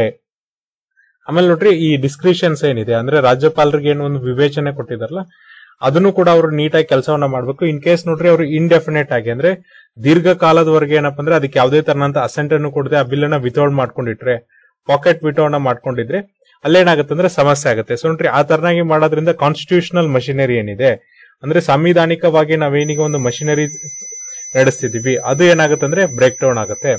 ಹಾಗಾಗಿ ನೋಡ್ರಿ, ಯಾವ ಎಕ್ಸ್ಟೆಂಟ್ಗೆ ಏನಪ್ಪ ಅಂದ್ರೆ ರಾಜ್ಯಪಾಲರಿಗೆ ಸ್ವಾಯತ್ತತೆ ಇದೆ ಆಮೇಲೆ ಅದನ್ನ ಬೇರೆ ಬೇರೆ ಕಾನ್ಸ್ಟಿಟ್ಯೂಷನಲ್ ಜಜ್ಮೆಂಟ್ ಮೂಲಕ ನಾವು ತಿಳಿತಾ ಹೋಗೋಣ. ಅಂದ್ರೆ ಸುಪ್ರೀಂ ಕೋರ್ಟ್ನ ಬೇರೆ ಬೇರೆ ಜಜ್ಮೆಂಟ್ ಅಲ್ಲಿ ಏನ್ ಹೇಳಿದಾರೆ ಅನ್ನೋದನ್ನ ನಾವು ಚೆಕ್ ಮಾಡ್ತಾ ಹೋಗೋಣ. ನೋಡ್ರಿ ಫಸ್ಟ್ ಕೇಸ್ ಯಾವ್ದು ಕನ್ಸಿಡರ್ ಮಾಡ್ತಿದೀವಿ ಅಂದ್ರೆ ನಾವು Purushothaman Namboodiri versus state of Kerala ಈ ಕೇಸಲ್ಲಿ ನೋಡ್ರಿ ಏನಪ್ಪಾ ಅಂದ್ರೆ ಒಂದು ಬಿಲ್ ಏನ್ ಪೆಂಡಿಂಗ್ ಇರುತ್ತೆ? ಗವರ್ನರ್ ಒಂದು ಸಮ್ಮತಿಗೋಸ್ಕರ ಒಂದ್ ಏನ್ ಬಿಲ್ ಪೆಂಡಿಂಗ್ ಇರುತ್ತಲ್ಲ, ಆ ಬಿಲ್ ಏನಾದ್ರೂ ಲ್ಯಾಪ್ಸ್ ಆಗುತ್ತೆ. ಯಾವಾಗಂದ್ರೆ ನೋಡ್ರಿ, ಈಗ ಒಂದು ಅಸೆಂಬ್ಲಿ ಡೆಸೊಲ್ಯೂಷನ್ಸ್ ಆದಾಗ ಫಾರ್ ಎಕ್ಸಾಂಪಲ್ ಏನಪ್ಪಾ ಅಂದ್ರೆ ಮೊನ್ನೆ ಕರ್ನಾಟಕದಲ್ಲಿ ಎಲೆಕ್ಷನ್ಸ್ ನಡೀತು. ಸೊ ಹಳೆ ಒಂದು ವಿಧಾನಸಭೆ ಡಿಸೊಲ್ಯೂಷನ್ಸ್ ಆಗಿ ಈಗ ಹೊಸ ವಿಧಾನಸಭೆ ಏನ್ ಫಾರ್ಮ್ ಆಯ್ತಲ್ಲ? ಈ ಮಧ್ಯದಲ್ಲಿ ನಾವೇನಾದ್ರೂ ಬಿಲ್ ಅನ್ನ ಪಾಸ್ ಮಾಡಿ ರಾಜ್ಯಪಾಲರ ಮುಂದೆ ಇಟ್ಟಿದ್ರೆ ಆ ಒಂದು ವಿಧಾನಸಭೆ ಡಿಸೊಲ್ಯೂಷನ್ ಆದಾಗ ಅಥವಾ ಅದನ್ನ ಡಿಸಾಲ್ವ್ ಮಾಡಿದಾಗ ಅದೇನ್ ಲ್ಯಾಪ್ಸ್ ಆಗುತ್ತೆ ಅಂತ ಕೇಳಿದಾಗ ಸೊ ನೋಡ್ರಿ ಕೋರ್ಟ್ ಏನ್ ಹೇಳುತ್ತಂದ್ರೆ ಕೋರ್ಟ್ ಆರ್ಟಿಕಲ್ ಟೂ ಹಂಡ್ರೆಡ್ ಮತ್ತೆ ಟೂ ಹಂಡ್ರೆಡ್ ಒನ್ ವಿಧಿ ಎರಡ್ ನೂರು ಎರಡ್ ನೂರ ಒಂದ್ರ ಪ್ರಕಾರ ಏನಪ್ಪಾ ಅಂದ್ರೆ ಇದು ಕೊಲ್ಯಾಪ್ಸ್ ಆಗಲ್ಲ ಅಥವಾ ಇದು ಡಿಸಾಲ್ವ್ ಆಗಲ್ಲ ಅಂತ ಹೇಳ್ತಾರೆ. ಯಾಕಂದ್ರೆ ನೋಡ್ರಿ, ವಿಧಿ ಎರಡ್ ನೂರು ಮತ್ತೆ ಎರಡ್ ನೂರ ಒಂದರಲ್ಲಿ ಏನಪ್ಪಾ ಅಂದ್ರೆ, ರಾಜ್ಯಪಾಲರಿಗೆ ಯಾವುದೇ ತರನಂತ ಟೈಮ್ ಲಿಮಿಟ್ ಅನ್ನ ನೀವು ಕೊಟ್ಟಿಲ್ಲ. ಇಷ್ಟೇ ಟೈಮ್ ಲಿಮಿಟ್ ಅಲ್ಲಿ ಅವರು ಆ ಬಿಲ್ ಅನ್ನ ಪಾಸ್ ಮಾಡಬೇಕು ಪಾಸ್ ಮಾಡ್ಬೇಕು ಅದಕ್ಕೆ ಸಮ್ಮತಿ ಕೊಡಬೇಕು, ಸಮ್ಮತಿ ಕೊಡಬಾರ್ದು, ಅಥವಾ ರಿಟರ್ನ್ ಮಾಡ್ಬೇಕು ಅನ್ನೋದೇನ್ ಟೈಮ್ ಲಿಮಿಟ್ ಏನ್ ಕೊಟ್ಟಿರಲ್ಲ, ಅದೇ ತರನಾಗಿ ಏನಪ್ಪಾ ಅಂದ್ರೆ, ಈ ಒಂದು ಬಿಲ್ಗೂ ಕೂಡ ಇರಲ್ಲ. ಅಂದ್ರೆ ಅದನ್ನ ಒಂದ್ಸರಿ ಪಾಸ್ ಮಾಡದ್ಮೇಲೆ ಅದು ಡಿಸಾಲ್ವ್ ಆಗಲ್ಲ ಅಂತ ಹೇಳಿದ್ದಾರೆ. ಅದೇ ನೋಡ್ರಿ, ರಾಷ್ಟ್ರಪತಿಗಳು ಮತ್ತೆ ರಾಜ್ಯಪಾಲರು ಏನಾದ್ರೂ ಶಿಫಾರಸುಗಳನ್ನ ಮಾಡಿದ್ರೆ, ನೀವೇನ್ ಮಾಡಿದ್ರೆ ಅಂದ್ರೆ ಈ ಒಂದು ವಿಧಾನಸಭೆ ಮತ್ತೆ ಲೋಕಸಭೆಗೆ ಏನಪ್ಪ ಅಂದ್ರೆ ಆರು ತಿಂಗಳ ಕಾಲಾವಕಾಶವನ್ನ ಕೊಟ್ಟಿದ್ದಾರೆ. ಏನಂದ್ರೆ ಅವ್ರೇನ್ ರೆಕಮೆಂಡೇಶನ್ಸ್ ಮಾಡಿದ್ದಾರೆ, ಶಿಫಾರಸುಗಳನ್ನ ಏನ್ ಮಾಡಿದಾರಲ್ಲ ಅವುಗಳನ್ನ ತೆಗೆದುಕೊಳ್ಬೇಕು ತೆಗೆದುಕೊಳ್ಬಾರ್ದು ಅನ್ನೋದಕ್ಕೆ ಆರು ತಿಂಗಳ ಸಮಯವನ್ನ ಏನ್ ಕೊಟ್ಟಿದ್ರಲ್ಲ ಅದೇ ತರನಂತ ಸಮಯವನ್ನ ಏನಪ್ಪ ಅಂದ್ರೆ ನೀವು ರಾಜ್ಯಪಾಲರಿಗೆ ಮತ್ತೆ ರಾಷ್ಟ್ರಪತಿ ರಾಜ್ಯಪಾಲರಿಗೆ ಕೊಟ್ಟಿಲ್ಲ. ಯಾವ್ದ್ರೊಳಗಂದ್ರೆ ವಿಧಿ ಎರಡ್ ನೂರು ಮತ್ತೆ ಎರಡ್ ನೂರ ಒಂದ್ರೊಳಗೆ. ಅಂದ್ರೆ ನೋಡ್ರಿ, ರಾಜ್ಯಪಾಲರಿಗೆ ನೀವು ಇಷ್ಟು ಟೈಮ್ ಲಿಮಿಟ್ ಅನ್ನ ಕೊಟ್ಟಿದ್ರೆ, ಸೊ ಅವಾಗ ಅದು ಡಿಸಾಲ್ವ್ ಆಗಿತ್ತು ಇನ್ ಕೇಸ್ ನೋಡ್ರಿ ಇಲ್ಲಿ ಯಾವುದೇ ತರನ ಅಂತ ಟೈಮ್ ಲಿಮಿಟ್ ಇಲ್ಲದೆ ಇರೋದ್ರಿಂದ ಅದೇನಪ್ಪ ಅಂದ್ರೆ ಡಿಸಾಲ್ವ್ ಆಗಲ್ಲ ಅಂತ ಹೇಳಿದ್ದಾರೆ. ಜೊತೆಗೆ ನೋಡ್ರಿ, ಯಾರು ನಮ್ಮ ಸಂವಿಧಾನವನ್ನ ರಚನೆ ಮಾಡಿದಾರಲ್ಲ, ಅವ್ರೇನ್ ಥಿಂಕ್ ಮಾಡಿದಾರೆ ಅಂದ್ರೆ, ನಾವೇನಾದ್ರೂ ಇದಕ್ಕೆ ಟೈಮ್ ಲಿಮಿಟ್ ಅನ್ನ ಕೊಟ್ರೆ, ಈಗ ಫಾರ್ ಎಕ್ಸಾಂಪಲ್ ಏನಪ್ಪಾ ಅಂದ್ರೆ, ಒಂದು ಅಸೆಂಬ್ಲಿ ಡಿಸಾಲ್ವ್ ಆದಾಗ ಆ ಬಿಲ್ ಲ್ಯಾಪ್ಸ್ ಆಗುತ್ತೆ ಒಂದು ಟೈಮ್ ಲಿಮಿಟ್ ಅನ್ನ ಕೊಟ್ಬಿಟ್ರೆ, ರಾಜ್ಯಪಾಲರು ನೋಡ್ರಿ ಚುನಾವಣೆ ಆರು ತಿಂಗಳಿರುವಾಗ ಯಾವ್ದಾದ್ರು ಕಾನೂನುಗಳನ್ನ ಅಥವಾ ಕಾಯ್ದೆಗಳನ್ನ ಪಾಸ್ ಮಾಡಿದ್ರೆ ಅವರು ಆರು ತಿಂಗಳವರೆಗೂ ವೇಟ್ ಮಾಡಿ ಅವಾಗ ಏನ್ ಮಾಡ್ತಾರೆ ಅಂದ್ರೆ ಅದನ್ನ ತೆಗೆದಾಕ್ಬಿಡ್ತಾರೆ. ಯಾಕಂದ್ರೆ ಅಲ್ಲಿರುವಂತ ಅಸೆಂಬ್ಲಿ ಏನಾಗ್ಬಿಡುತ್ತೆ ಅಂದ್ರೆ ಡಿಸಾಲ್ವ್ ಆಗುತ್ತೆ. ಹಾಗಾಗಿ ಚುನಾಯಿತ ಸರ್ಕಾರದ ಇಂಟೆನ್ಷನ್ಸ್ ಏನಿರುತ್ತೆ? ಕಾನ್ಸ್ಟಿಟ್ಯೂಷನಲ್ ಮಷಿನರಿ ಏನಿರುತ್ತಲ್ಲ, ಅದು ಫೇಲ್ ಆಗಬಾರ್ದು ಅನ್ನೋದಕ್ಕೋಸ್ಕರ ನೋಡ್ರಿ. ನಮ್ಮ ಸಂವಿಧಾನದ ರಚನಾಕಾರ ಏನ್ ಮಾಡಿದಾರೆ ಅಂದ್ರೆ, ಈ ಒಂದು ನಿರ್ಧಾರವನ್ನ ಮಾಡಿದಾರೆ ಅಂತ ಹೇಳಿ ಸುಪ್ರೀಂ ಕೋರ್ಟ್ ಏನಪ್ಪ ಅಂದ್ರೆ Namboodiri versus state of Kerala Purushothaman Namboodiri versus state of Kerala judgement ಅಲ್ಲಿ ಹೇಳಿದ್ದಾರೆ ಅಂದ್ರೆ ಯಾವುದೇ ಬಿಲ್ಲು ಈಗ ಅಸೆಂಬ್ಲಿ ಡಿಸಾಲ್ವ್ ಆದಾಗ ಅದು ಡಿಸಾಲ್ವ್ ಆಗಲ್ಲ, ಬದಲಾಗಿ ಅದು ಕಂಟಿನ್ಯೂ ಆಗ್ತಾನೆ ಇರುತ್ತೆ. ಹಾಗಾಗಿ ನೋಡ್ರಿ, ನಮ್ಮ ಸಂವಿಧಾನ ಏನಪ್ಪ ಅಂದ್ರೆ ಯಾವುದೇ ತರನ ಅಂತ ಟೈಮ್ ಲಿಮಿಟ್ ಅಥವಾ ಸಮಯಾವಕಾಶವನ್ನ ಎಲ್ಲ ಕೊಟ್ಟಿಲ್ಲ. ಫಸ್ಟ್ ಪ್ರೊವಿಷನ್ಸ್ ಏನ್ ಹೇಳತ್ತಂದ್ರೆ ಗವರ್ನರ್ ಏನ್ ಮಾಡ್ಬೇಕಪ್ಪ ಅಂದ್ರೆ ಒಂದು ತಮ್ಮ ಸಮ್ಮತಿಯನ್ನ ಕೊಡಬೇಕು, ಅಥವಾ ಹೌಸ್ಗೆ ಅಂದ್ರೆ ವಿಧಾನಸಭೆಗೆ ಏನ್ ಮಾಡ್ಬೇಕಂದ್ರೆ ಬಿಲ್ ಅನ್ನ ವಾಪಸ್ ಮಾಡ್ಬೇಕು. ಎಷ್ಟು ಟೈಮಲ್ಲಿ ಅಂತ ಹೇಳಿದಾರೆ ಅಂದ್ರೆ ಆಸ್ ಸೂನ್ ಆಸ್ ಪಾಸಿಬಲ್ ನಾನು ಆಗ್ಲೇ ಹೇಳಿದೆ, ಇಲ್ಲಿ ಆದಷ್ಟು ಬೇಗ ಆಸ್ ಸೂನ್ ಆಸ್ ಪಾಸಿಬಲ್ ಏನ್ ಹೇಳಿದಾರಲ್ಲ, ಇದ್ರ ಪ್ರಕಾರ ಏನ್ ಮಾಡ್ಬೇಕಂದ್ರೆ ಗವರ್ನರ್ ಫಸ್ಟ್ ಒಂದು ಸಮ್ಮತಿ ಏನಾದ್ರೂ ಕೊಡಬೇಕು ಅಥವಾ ಆ ಬಿಲ್ ಅನ್ನ ಏನ್ ಮಾಡ್ಬೇಕಪ್ಪ ಅಂದ್ರೆ ಸಂವಿಧಾನದ ಈ ಒಂದು ವಿಧಾನಸಭೆಗೆ ಅದನ್ನ ರಿಟರ್ನ್ ಮಾಡಬೇಕು. ಜೊತೆಗೆ ನೋಡ್ರಿ ಸಂಶೇರ್ ಸಿಂಗ್ ಅಲ್ಲಿ, ಅಂದ್ರೆ Shamsher Singh versus state of Punjab ಕೇಸಲ್ಲಿ ನೋಡ್ರಿ ಇಲ್ಲಿ ಸುಪ್ರೀಂ ಕೋರ್ಟ್ ಏನ್ ಹೇಳಿತಪ್ಪ ಅಂದ್ರೆ ಇಂಡಿಪೆಂಡೆಂಟ್ ಆಗಿ ಗವರ್ನರ್ ಏನ್ ಮಾಡಬಹುದು ಅಂದ್ರೆ ಕೆಲವೊಂದಿಷ್ಟು ಡಿಸಿಷನ್ಸ್ನ ತೆಗೆದುಕೊಳ್ಬಹುದು ಅಂತ ಹೇಳಿದ್ರಲ್ಲ, ಯಾವಾಗ ತೆಗೆದುಕೊಳ್ಬಹುದಪ್ಪ ಅಂದ್ರೆ ಇನ್ ಕೇಸ್ ಸೆಕೆಂಡ್ ಪ್ರೊವಿಷನ್ಸ್ ಅಲ್ಲಿ, ಅಂದ್ರೆ ರಿಟರ್ನ್ ಮಾಡುವಂತ ಪ್ರೊವಿಷನ್ಸ್ ಅಲ್ಲಿ ಏನಪ್ಪ ಅಂದ್ರೆ ಗವರ್ನರ್ಗೆ ತನ್ನ ಡಿಸ್ಕ್ರಿಷನ್ಸ್ ಏನಿರುತ್ತೆ, ವಿವೇಚನೆ ಏನಿರುತ್ತೆ ಅದನ್ನ ಎಕ್ಸಸೈಸ್ ಮಾಡುವಂತ ಅಧಿಕಾರ ಇರುತ್ತೆ. ಅಂದ್ರೆ council of minister headed by the chief minister ಕೊಟ್ಟಂತ ಅಡ್ವೈಸ್ ಅನ್ನ ಬಿಟ್ಟು, ಮಂತ್ರಿ ಮಂಡಲ ಕೊಟ್ಟಂತ ಸಲಹೆ ಮತ್ತು ಸೂಚನೆಗಳನ್ನ ಬಿಟ್ಟು ಎರಡನೇ ಪ್ರೊವಿಷನ್ಸ್ ಪ್ರಕಾರ ಅವ್ರ ಏನಪ್ಪ ಅಂದ್ರೆ ಕೌನ್ಸಿಲ್ ಅಗೇನೆಸ್ಟ್ ಆಗಿ ಏನ್ ಮಾಡಬಹುದು ಅಂದ್ರೆ ತಮ್ಮ ಸೆಕೆಂಡ್ ಪ್ರೊವಿಷನ್ಸ್ ಅಥವಾ ತಮ್ಮ ವಿವೇಚನೆ ಯೂಸ್ ಮಾಡ್ಕೊಂಡು ಅದನ್ನೇನ್ ಮಾಡ್ಬೋದಪ್ಪ ಅಂದ್ರೆ ರಾಷ್ಟ್ರಪತಿಗಳ ಸಮ್ಮತಿಗೆ ಅಸಂಟಿಗೆ ಅದನ್ನ ಕಳಿಸಬಹುದಾಗಿದೆ ಹಾಗಾಗಿ ನೋಡ್ರಿ, ಇಲ್ಲಿ ರಾಜ್ಯಪಾಲರು ಏನ್ ಮಾಡ್ಬೋದು ಅಂದ್ರೆ ತಮಗಿರುವಂತ ಅಧಿಕಾರವನ್ನ ಯೂಸ್ ಮಾಡ್ಕೊಂಡು ಒಂದ್ ಬಿಲ್ ಅನ್ನ ರಿಸರ್ವ್ ಮಾಡಬಹುದು ಅಥವಾ ಪ್ರೆಸಿಡೆನ್ಷಿಯಲ್ ಕನ್ಸಿಡರೇಷನ್ಗೆ ಕಳಿಸಬಹುದು ಇದು ಒಂದ್ ತರನಾದಂತ ಏನಪ್ಪಾ ಅಂದ್ರೆ ಡಿಸ್ಕ್ರಿಷನ್ ಅಥವಾ ವಿವೇಚನೆಗಿರುವಂತಹ ಪವರ್ ಅದೇ ತರ ನೋಡ್ರಿ, ಕೋರ್ಟ್ ಏನ್ ಹೈಲೈಟ್ ಮಾಡಿದೆ ಅಂದ್ರೆ ಎಕ್ಸೆಪ್ಷನ್ ಸರ್ಕಮ್ಸ್ಟೆನ್ಸಸ್ ಅಲ್ಲಿ ಮಾತ್ರ ಏನಪ್ಪ ಅಂದ್ರೆ ಗವರ್ನರ್ ಅಥವಾ ರಾಜ್ಯಪಾಲರು ಏನ್ ಮಾಡ್ತಾರೆ ಅಂದ್ರೆ ಕೌನ್ಸಿಲ್ ಆಫ್ ಮಿನಿಸ್ಟರ್ ಮಂತ್ರಿ ಮಂಡಳದ ವಿರುದ್ಧವಾಗಿ ಅಥವಾ ಸ್ವತಂತ್ರವಾಗಿ ಏನ್ ಮಾಡ್ತಾರೆ ಅಂದ್ರೆ, ಕೆಲಸವನ್ನ ಮಾಡ್ತಾರೆ. ಅಂದ್ರೆ ವಿವೇಚನೆ ಮೇಲೆ ಕೆಲಸ ಮಾಡ್ತಾರೆ. ಇದು ನೋಡ್ರಿ ಸ್ಮಿತ್ ಸ್ಟೇಟ್ಮೆಂಟ್ ಏನಿದೆ. Royal assent would hold good ಅಂತ ಏನ್ ಹೇಳಿದ್ದಾರೆ? ಅಂದ್ರೆ ಸ್ಮಿತ್ ಸ್ಟೇಟ್ಮೆಂಟ್ ಪ್ರಕಾರ ಏನಪ್ಪ ಅಂದ್ರೆ, ಈ ಒಂದು ರಾಯಲ್ ಅಸೆಂಟ್ ಏನಿದೆಯಲ್ಲ, ಇದು ಹೋಲ್ಡ್ ಮಾಡುತ್ತೆ ಅಂತ ಹೇಳ್ತಾರಲ್ಲ, ಅದು ಕೂಡ ಏನಂದ್ರೆ, ಭಾರತದ ಡೆಮೋಕ್ರಸಿಯಲ್ಲಿ ಪ್ರಜಾಪ್ರಭುತ್ವದಲ್ಲಿ ಬರುತ್ತೆ. ಅದು ಏನಂದ್ರೆ ಪ್ರೆಸಿಡೆಂಟ್ಸ್ ಮತ್ತೆ ರಾಜ್ಯಪಾಲರು ಇಬ್ಬರಿಗೂ ಕೂಡ ಅಪ್ಲೈ ಆಗುತ್ತೆ. ಸೊ ನೋಡ್ರಿ ರಾಯಲ್ ಅಸೆಂಟ್ ಏನಾದ್ರು, ಈಗ ನೋಡ್ರಿ ಇಂಗ್ಲೆಂಡ್ ಅಲ್ಲಿ ರಾಯಲ್ ಅಸೆಂಟ್ ಈಗ ಇಂಗ್ಲೆಂಡ್ ಅಲ್ಲಿ ಏನಪ್ಪಾ ಅಂದ್ರೆ ರಾಣಿ ಅಥವಾ ರಾಜ್ಯ ಅದಕ್ಕೆ ಒಪ್ಪಿಗೆ ಏನ್ ಕೊಡ್ತಾರಲ್ಲ, ಅವ್ರೇನಾದ್ರೂ ಒಪ್ಪಿಗೆಯನ್ನ ಕೊಡ್ಲಿಲ್ಲ ಅಂದ್ರೆ ಇಲ್ಲಿ ಮೊನಾರ್ಚಾರ್ ಇರ್ತಾರೆ? ಅಂದ್ರೆ ಆಡಳಿತಗಾರರು ಅಥವಾ ರಾಜ್ಯ ರಾಣಿಗಳು ಏನಿರ್ತಾರೆ ಅಂದ್ರೆ ಇವ್ರೇನ್ ಬಿಲ್ ಪಾಸ್ ಮಾಡಿರ್ತಾರೆ. Especially people house of the people ಏನ್ ಬಿಲ್ ಪಾಸ್ ಮಾಡಿರ್ತಾರಲ್ಲ ಅದಕ್ಕೆ ತುಂಬಾ ಕಾಂಟ್ರಿವೆನ್ಷಿಯಲ್ ಇದೆ. ಜೊತೆಗೆ ಅದು ಅನ್ಕಾನ್ಸ್ಟಿಟ್ಯೂಷನಲ್ ಅಂತ ಕನ್ಸಿಡರ್ ಆಗುತ್ತೆ. ಆ ತರನ ಅಂತ ಕಾಂಟ್ಯಾಕ್ಸ್ ಕೂಡ ಏನಪ್ಪಾ ಅಂದ್ರೆ ಈ ಒಂದು ರಾಜ್ಯಪಾಲರು ಮತ್ತೆ ರಾಷ್ಟ್ರಪತಿಗಳು ಸಮ್ಮತಿಯನ್ನ ಕೊಡೋದ್ರಿಂದನೂ ಕೂಡ ಬರುತ್ತೆ. ಅದೇ ತರ ನೋಡ್ರಿ, ಕೋರ್ಟ್ ಏನಪ್ಪ ಅಂದ್ರೆ Nabam Rebia versus, Nabam Rebia and Bamang Felix versus deputy speaker case ಒಳಗ್ ನೋಡ್ರಿ, ಕೋರ್ಟ್ ಏನ್ ಹೇಳ್ತಾ ಹೋಗುತ್ತಂದ್ರೆ ಈಗ ಎರಡು, ಆರ್ಟಿಕಲ್ ಟೂ ಹಂಡ್ರೆಡ್ ಅಥವಾ ವಿಧಿ ಎರಡ್ನೂರನ್ನ ಕನ್ಸಿಡರ್ ಮಾಡಿದ್ರೆ, ಗವರ್ನರ್ ಏನ್ ಮಾಡ್ಬೋದಪ್ಪ ಅಂದ್ರೆ, ಯಾವಾಗ ತಮ್ಮ ಡಿಸ್ಕ್ರಿಷನ್ಸ್ ಅಥವಾ ವಿವೇಚನೆಯನ್ನ ಯೂಸ್ ಮಾಡ್ಬೋದಂದ್ರೆ, ಯಾವಾಗ ಅವರು ರಾಷ್ಟ್ರಪತಿಗಳಿಗೆ ಏನೊಂದು ಕಾಯ್ದೆಗಳನ್ನ ರಿಸರ್ವ್ ಮಾಡೋದಿರುತ್ತೆ ಅಥವಾ ರಾಷ್ಟ್ರಪತಿಗಳಿಗೆ ಸಮ್ಮತಿಯನ್ನು ಸೂಚಿಸೋದಿರತ್ತಲ್ಲ, ಅವಾಗ ಮಾತ್ರ ಅವರು ವಿವೇಚನೆಯನ್ನ ಯೂಸ್ ಮಾಡಬಹುದು ಡಿಸ್ಕ್ರಿಷನ್ ಅನ್ನ ಯೂಸ್ ಮಾಡಬಹುದು ಅಂತ ಹೇಳಿದ್ದಾರೆ. ಸೊ ನೋಡ್ರಿ ಇದು ತುಂಬಾ ಇಂಪಾರ್ಟೆಂಟ್ ಯಾಕಂದ್ರೆ ನೋಡ್ರಿ, ಕೋರ್ಟ್ ಏನ್ ಹೇಳುತ್ತೆ ಅಂದ್ರೆ ವಿಧಿ ಆರ್ನೂರ್ ವಿಧಿ ನೂರ ಅರವತ್ಮೂರು ಕ್ಲಾಸ್ ಟು ಮತ್ತೆ ಇದನ್ನ ನಾವೇನ್ ಮಾಡ್ಬೇಕಪ್ಪ ಅಂದ್ರೆ ವಿಧಿ one sixty three clause two ಏನಿದೆಲ್ಲ ಇದನ್ನ article one sixty three clause ಒನ್ನಲ್ಲಿ ಅಂಡರ್ಸ್ಟ್ಯಾಂಡಿಂಗ್ ಮಾಡ್ಕೋಬೇಕು. ಅಂದ್ರೆ ಇದ್ರ ಪ್ರಕಾರ ಏನಪ್ಪಾ ಅಂದ್ರೆ ಯಾವೆಲ್ಲ ಮ್ಯಾಟರ್ಸ್ ನೋಡ್ರಿ, ಸಂವಿಧಾನಕ್ಕೆ ಇರ್ತವೆ. ಅಂದ್ರೆ ಯಾವೆಲ್ಲ ಮ್ಯಾಟರ್ಸ್ ಏನಪ್ಪಾ ಅಂದ್ರೆ ಕಾನ್ಸ್ಟಿಟ್ಯೂಷನಲ್ ಚೇಂಜ್ ಮಾಡೋದು ಅಥವಾ ಸಂವಿಧಾನದ ಬಗ್ಗೆ ಇರುತ್ತಲ್ಲ ಅಂತ ಒಂದಿಷ್ಟು ಮ್ಯಾಟರ್ಸ್ನ ಮಾತ್ರ ನಾವ್ ಏನ್ ಮಾಡ್ಬೇಕಂದ್ರೆ ಗವರ್ನರ್ ತುಂಬಾ ಅಟೋನಮಸ್ ಆಗಿ ಏನ್ ಮಾಡ್ಬೇಕಂದ್ರೆ ಇವುಗಳನ್ನ ಏನ್ ಮಾಡ್ಬೋದಪ್ಪ ಅಂದ್ರೆ ಪ್ರೆಸಿಡೆಂಟ್ಗೆ ರೆಫರ್ ಮಾಡಬಹುದು ನಾನು ಆಗ್ಲೇ ಹೇಳಿದೆ ಪ್ರೆಸಿಡೆಂಟ್ಗೆ ಯಾವಾಗ ರೆಫರ್ ಮಾಡಬಹುದು ಅಂದ್ರೆ ಈ ಒಂದು ಬಿಲ್ ಏನಿರುತ್ತೆ, ಆ ಒಂದು ಏರಿಯಾದ ಅಥವಾ ಆ ಒಂದು ರಾಜ್ಯದ ಏನಾದ್ರೂ ಕೋರ್ಟಿನ ಸ್ವಾಯತ್ತತೆ ಅಥವಾ ಅಲ್ಲಿರೋ ಪವರ್ಸ್ ಅನ್ನ ಕಸಿದುಕೊಳ್ಳೋದಿದ್ರೆ ಅವಾಗ ಮಾತ್ರ ಅವರು ಪ್ರೆಸಿಡೆಂಟ್ಗೆ ರೆಫರ್ ಮಾಡಬಹುದು ಅಂತ ಹೇಳಿದ್ನಲ್ಲ? ಈ ತರನಾಗಿ ನೋಡ್ರಿ ಎಸ್ಪೆಷಲಿ ಅದೇನಾದ್ರೂ ಸಂವಿಧಾನಕ್ಕೆ ಸಂಬಂಧಪಟ್ಟಂಗೆ, ಅಂದ್ರೆ ಸಂವಿಧಾನದಲ್ಲಿ ಏನಾದ್ರೂ ಬದಲಾವಣೆ ಆಗದಿದ್ರೆ ಅವಾಗ ಗವರ್ನರ್ ಏನಪ್ಪ ಅಂದ್ರೆ ಇಂಡಿಪೆಂಡೆಂಟ್ ಆಗಿ ಕೆಲಸ ಮಾಡ್ಬೇಕಾಗತ್ತೆ. ಆಮೇಲೆ ಇದನ್ನ ಏನಪ್ಪಾ ಅಂದ್ರೆ ಯಾವುದೇ ಕೋರ್ಟ್ ಆಫ್ ಲಾ ಅಲ್ಲಿ, ಅಂದ್ರೆ ಯಾವುದೇ ಒಂದು ನ್ಯಾಯಾಲಯದಲ್ಲೂ ಕೂಡ ಚಾಲೆಂಜ್ ಮಾಡಕ್ ಆಗಲ್ಲ ಅಂತ ಅವರು ಹೇಳಿದ್ದಾರೆ. ಈ ಒಂದು ತೀರ್ಪು ಏನಿದೆ ನವಾಬ್ ರೇಬಿಯಾ ಕೇಸದ ಏನ್ ತೀರ್ಪು ಇದೆಯಲ್ಲ ಇದನ್ನೇನಪ್ಪ ಅಂದ್ರೆ ಇನ್ನೂ ದೊಡ್ಡದಾದಂತ ಒಂದು ಪೀಠಕ್ಕೆ ಏನ್ ರೆಫರ್ ಮಾಡ್ತಾರೆ? ಎಸ್ಪೆಷಲಿ ಸಂವಿಧಾನ ಪೀಠಕ್ಕೆ ಏನ್ ರೆಫರ್ ಮಾಡ್ತಾರಲ್ಲ ಅಲ್ಲಿ ಏನಪ್ಪ ಅಂದ್ರೆ ಸ್ಪೀಕರಿಗೆ ಏನ್ ಪ್ರೊಸೀಡಿಂಗ್ಸ್ ಮತ್ತೆ ಡಿಸೈಡಿಂಗ್ ಮ್ಯಾಟರ್ಸ್ ಇದೆ ಎಸ್ಪೆಷಲಿ ಹತ್ತನೇ ಅನುಸೂಚಿಯಲ್ಲಿ ಅದನ್ನ ಏನ್ ಮಾಡ್ಬೋದಪ್ಪ ಅಂದ್ರೆ ಅದನ್ನ ರೆಫರ್ ಮಾಡ್ಬೋದಾ ಇಲ್ಲ ಅನ್ನೋದ್ರ ಬಗ್ಗೆ ಅಲ್ಲಿ ಕ್ವಶನ್ಸ್ ಅನ್ನ ಮಾಡ್ತಾರೆ. ಅಂದ್ರೆ ಶೆಡ್ಯೂಲ್ ಟೆನ್ ಅಲ್ಲಿ ನೋಡ್ರಿ, ಅವರ ರಿಮ್ಯೂವಲ್ ಬಗ್ಗೆ ನಾವೇನ್ ಬಿಫೋರ್ ದಿ ಹೌಸ್ ಇರುತ್ತಲ್ಲ, ಅವಾಗ ಆ ತರದ ಮ್ಯಾಟರ್ಸ್ ಅನ್ನ ಅವರು ಸುಪ್ರೀಂ ಈ ಒಂದು ರಾಷ್ಟ್ರಪತಿಗಳಿಗೆ ರೆಫರ್ ಮಾಡ್ಬೋದಾ ಇಲ್ಲದನ್ನ ಡಿಸೈಡ್ ಅನ್ನ ಮಾಡ್ತಾರೆ. ಹಾಗಾಗಿ ನೋಡ್ರಿ, ಇಲ್ಲಿ ರಾಜ್ಯಪಾಲರು ಏನಿದಾರಲ್ಲ ಅವ್ರಿಗೆ ಡಿಸ್ಕ್ರಿಷನ್ಸ್ ಇದೆ ಬಟ್ ಅದೇನಪ್ಪ ಅಂದ್ರೆ ಇಂಡೆಫಿನೆಟ್ ಆಗಿ ವಿಥೋಲ್ಡ್ ಮಾಡಬಾರ್ದು. ಅಂದ್ರೆ ಯಾವುದೇ ಒಂದು ಬಿಲ್ಗಳಿರುತ್ತಲ್ಲ, ಅದನ್ನ ತುಂಬಾ ದೀರ್ಘಕಾಲದವರೆಗೂ ಇಟ್ಕೋಬಾರ್ದು. ಹಾಗಾಗಿ ನೋಡ್ರಿ, ಯಾವ್ದಾದ್ರು ಕಾಯ್ದೆಗಳನ್ನ ಅವ್ರ ಮುಂದೆ ಇಟ್ಟಾಗ ಅವ್ರೇನ್ ಮಾಡ್ಬೇಕಪ್ಪ ಅಂದ್ರೆ ಫಸ್ಟ್ ಅದಕ್ಕೆ ಸಮ್ಮತಿಯನ್ನಾದ್ರೂ ಕೊಡಬೇಕು, ಅಥವಾ ಅದನ್ನೇನಾದ್ರೂ ರಿಟರ್ನ್ ಮಾಡಿದ್ರೆ ವಿತ್ ರೆಕಮೆಂಡೇಶನ್ಸ್ ಅಂದ್ರೆ ಶಿಫಾರಸುಗಳ ಮೂಲಕ, ಕೆಲವೊಂದಿಷ್ಟು ಸಲಹೆಗಳನ್ನ ಕೊಡೋದ್ರ ಮೂಲಕ ಅದನ್ನ ರಿಟರ್ನ್ ಮಾಡ್ಕೋಬೇಕು. ಆಮೇಲೆ ನೋಡ್ರಿ, ಅಸೆಂಟ್ ಏನಿದೆ, ಸಮ್ಮತಿ ಏನಿದೆಯಲ್ಲ, ಆದಷ್ಟು ಬೇಗ ಕೊಡ್ಬೇಕಂದ್ರೆ ದೀರ್ಘಕಾಲದವರೆಗೆ ಅವರು ಇಟ್ಕೋಬಾರ್ದು.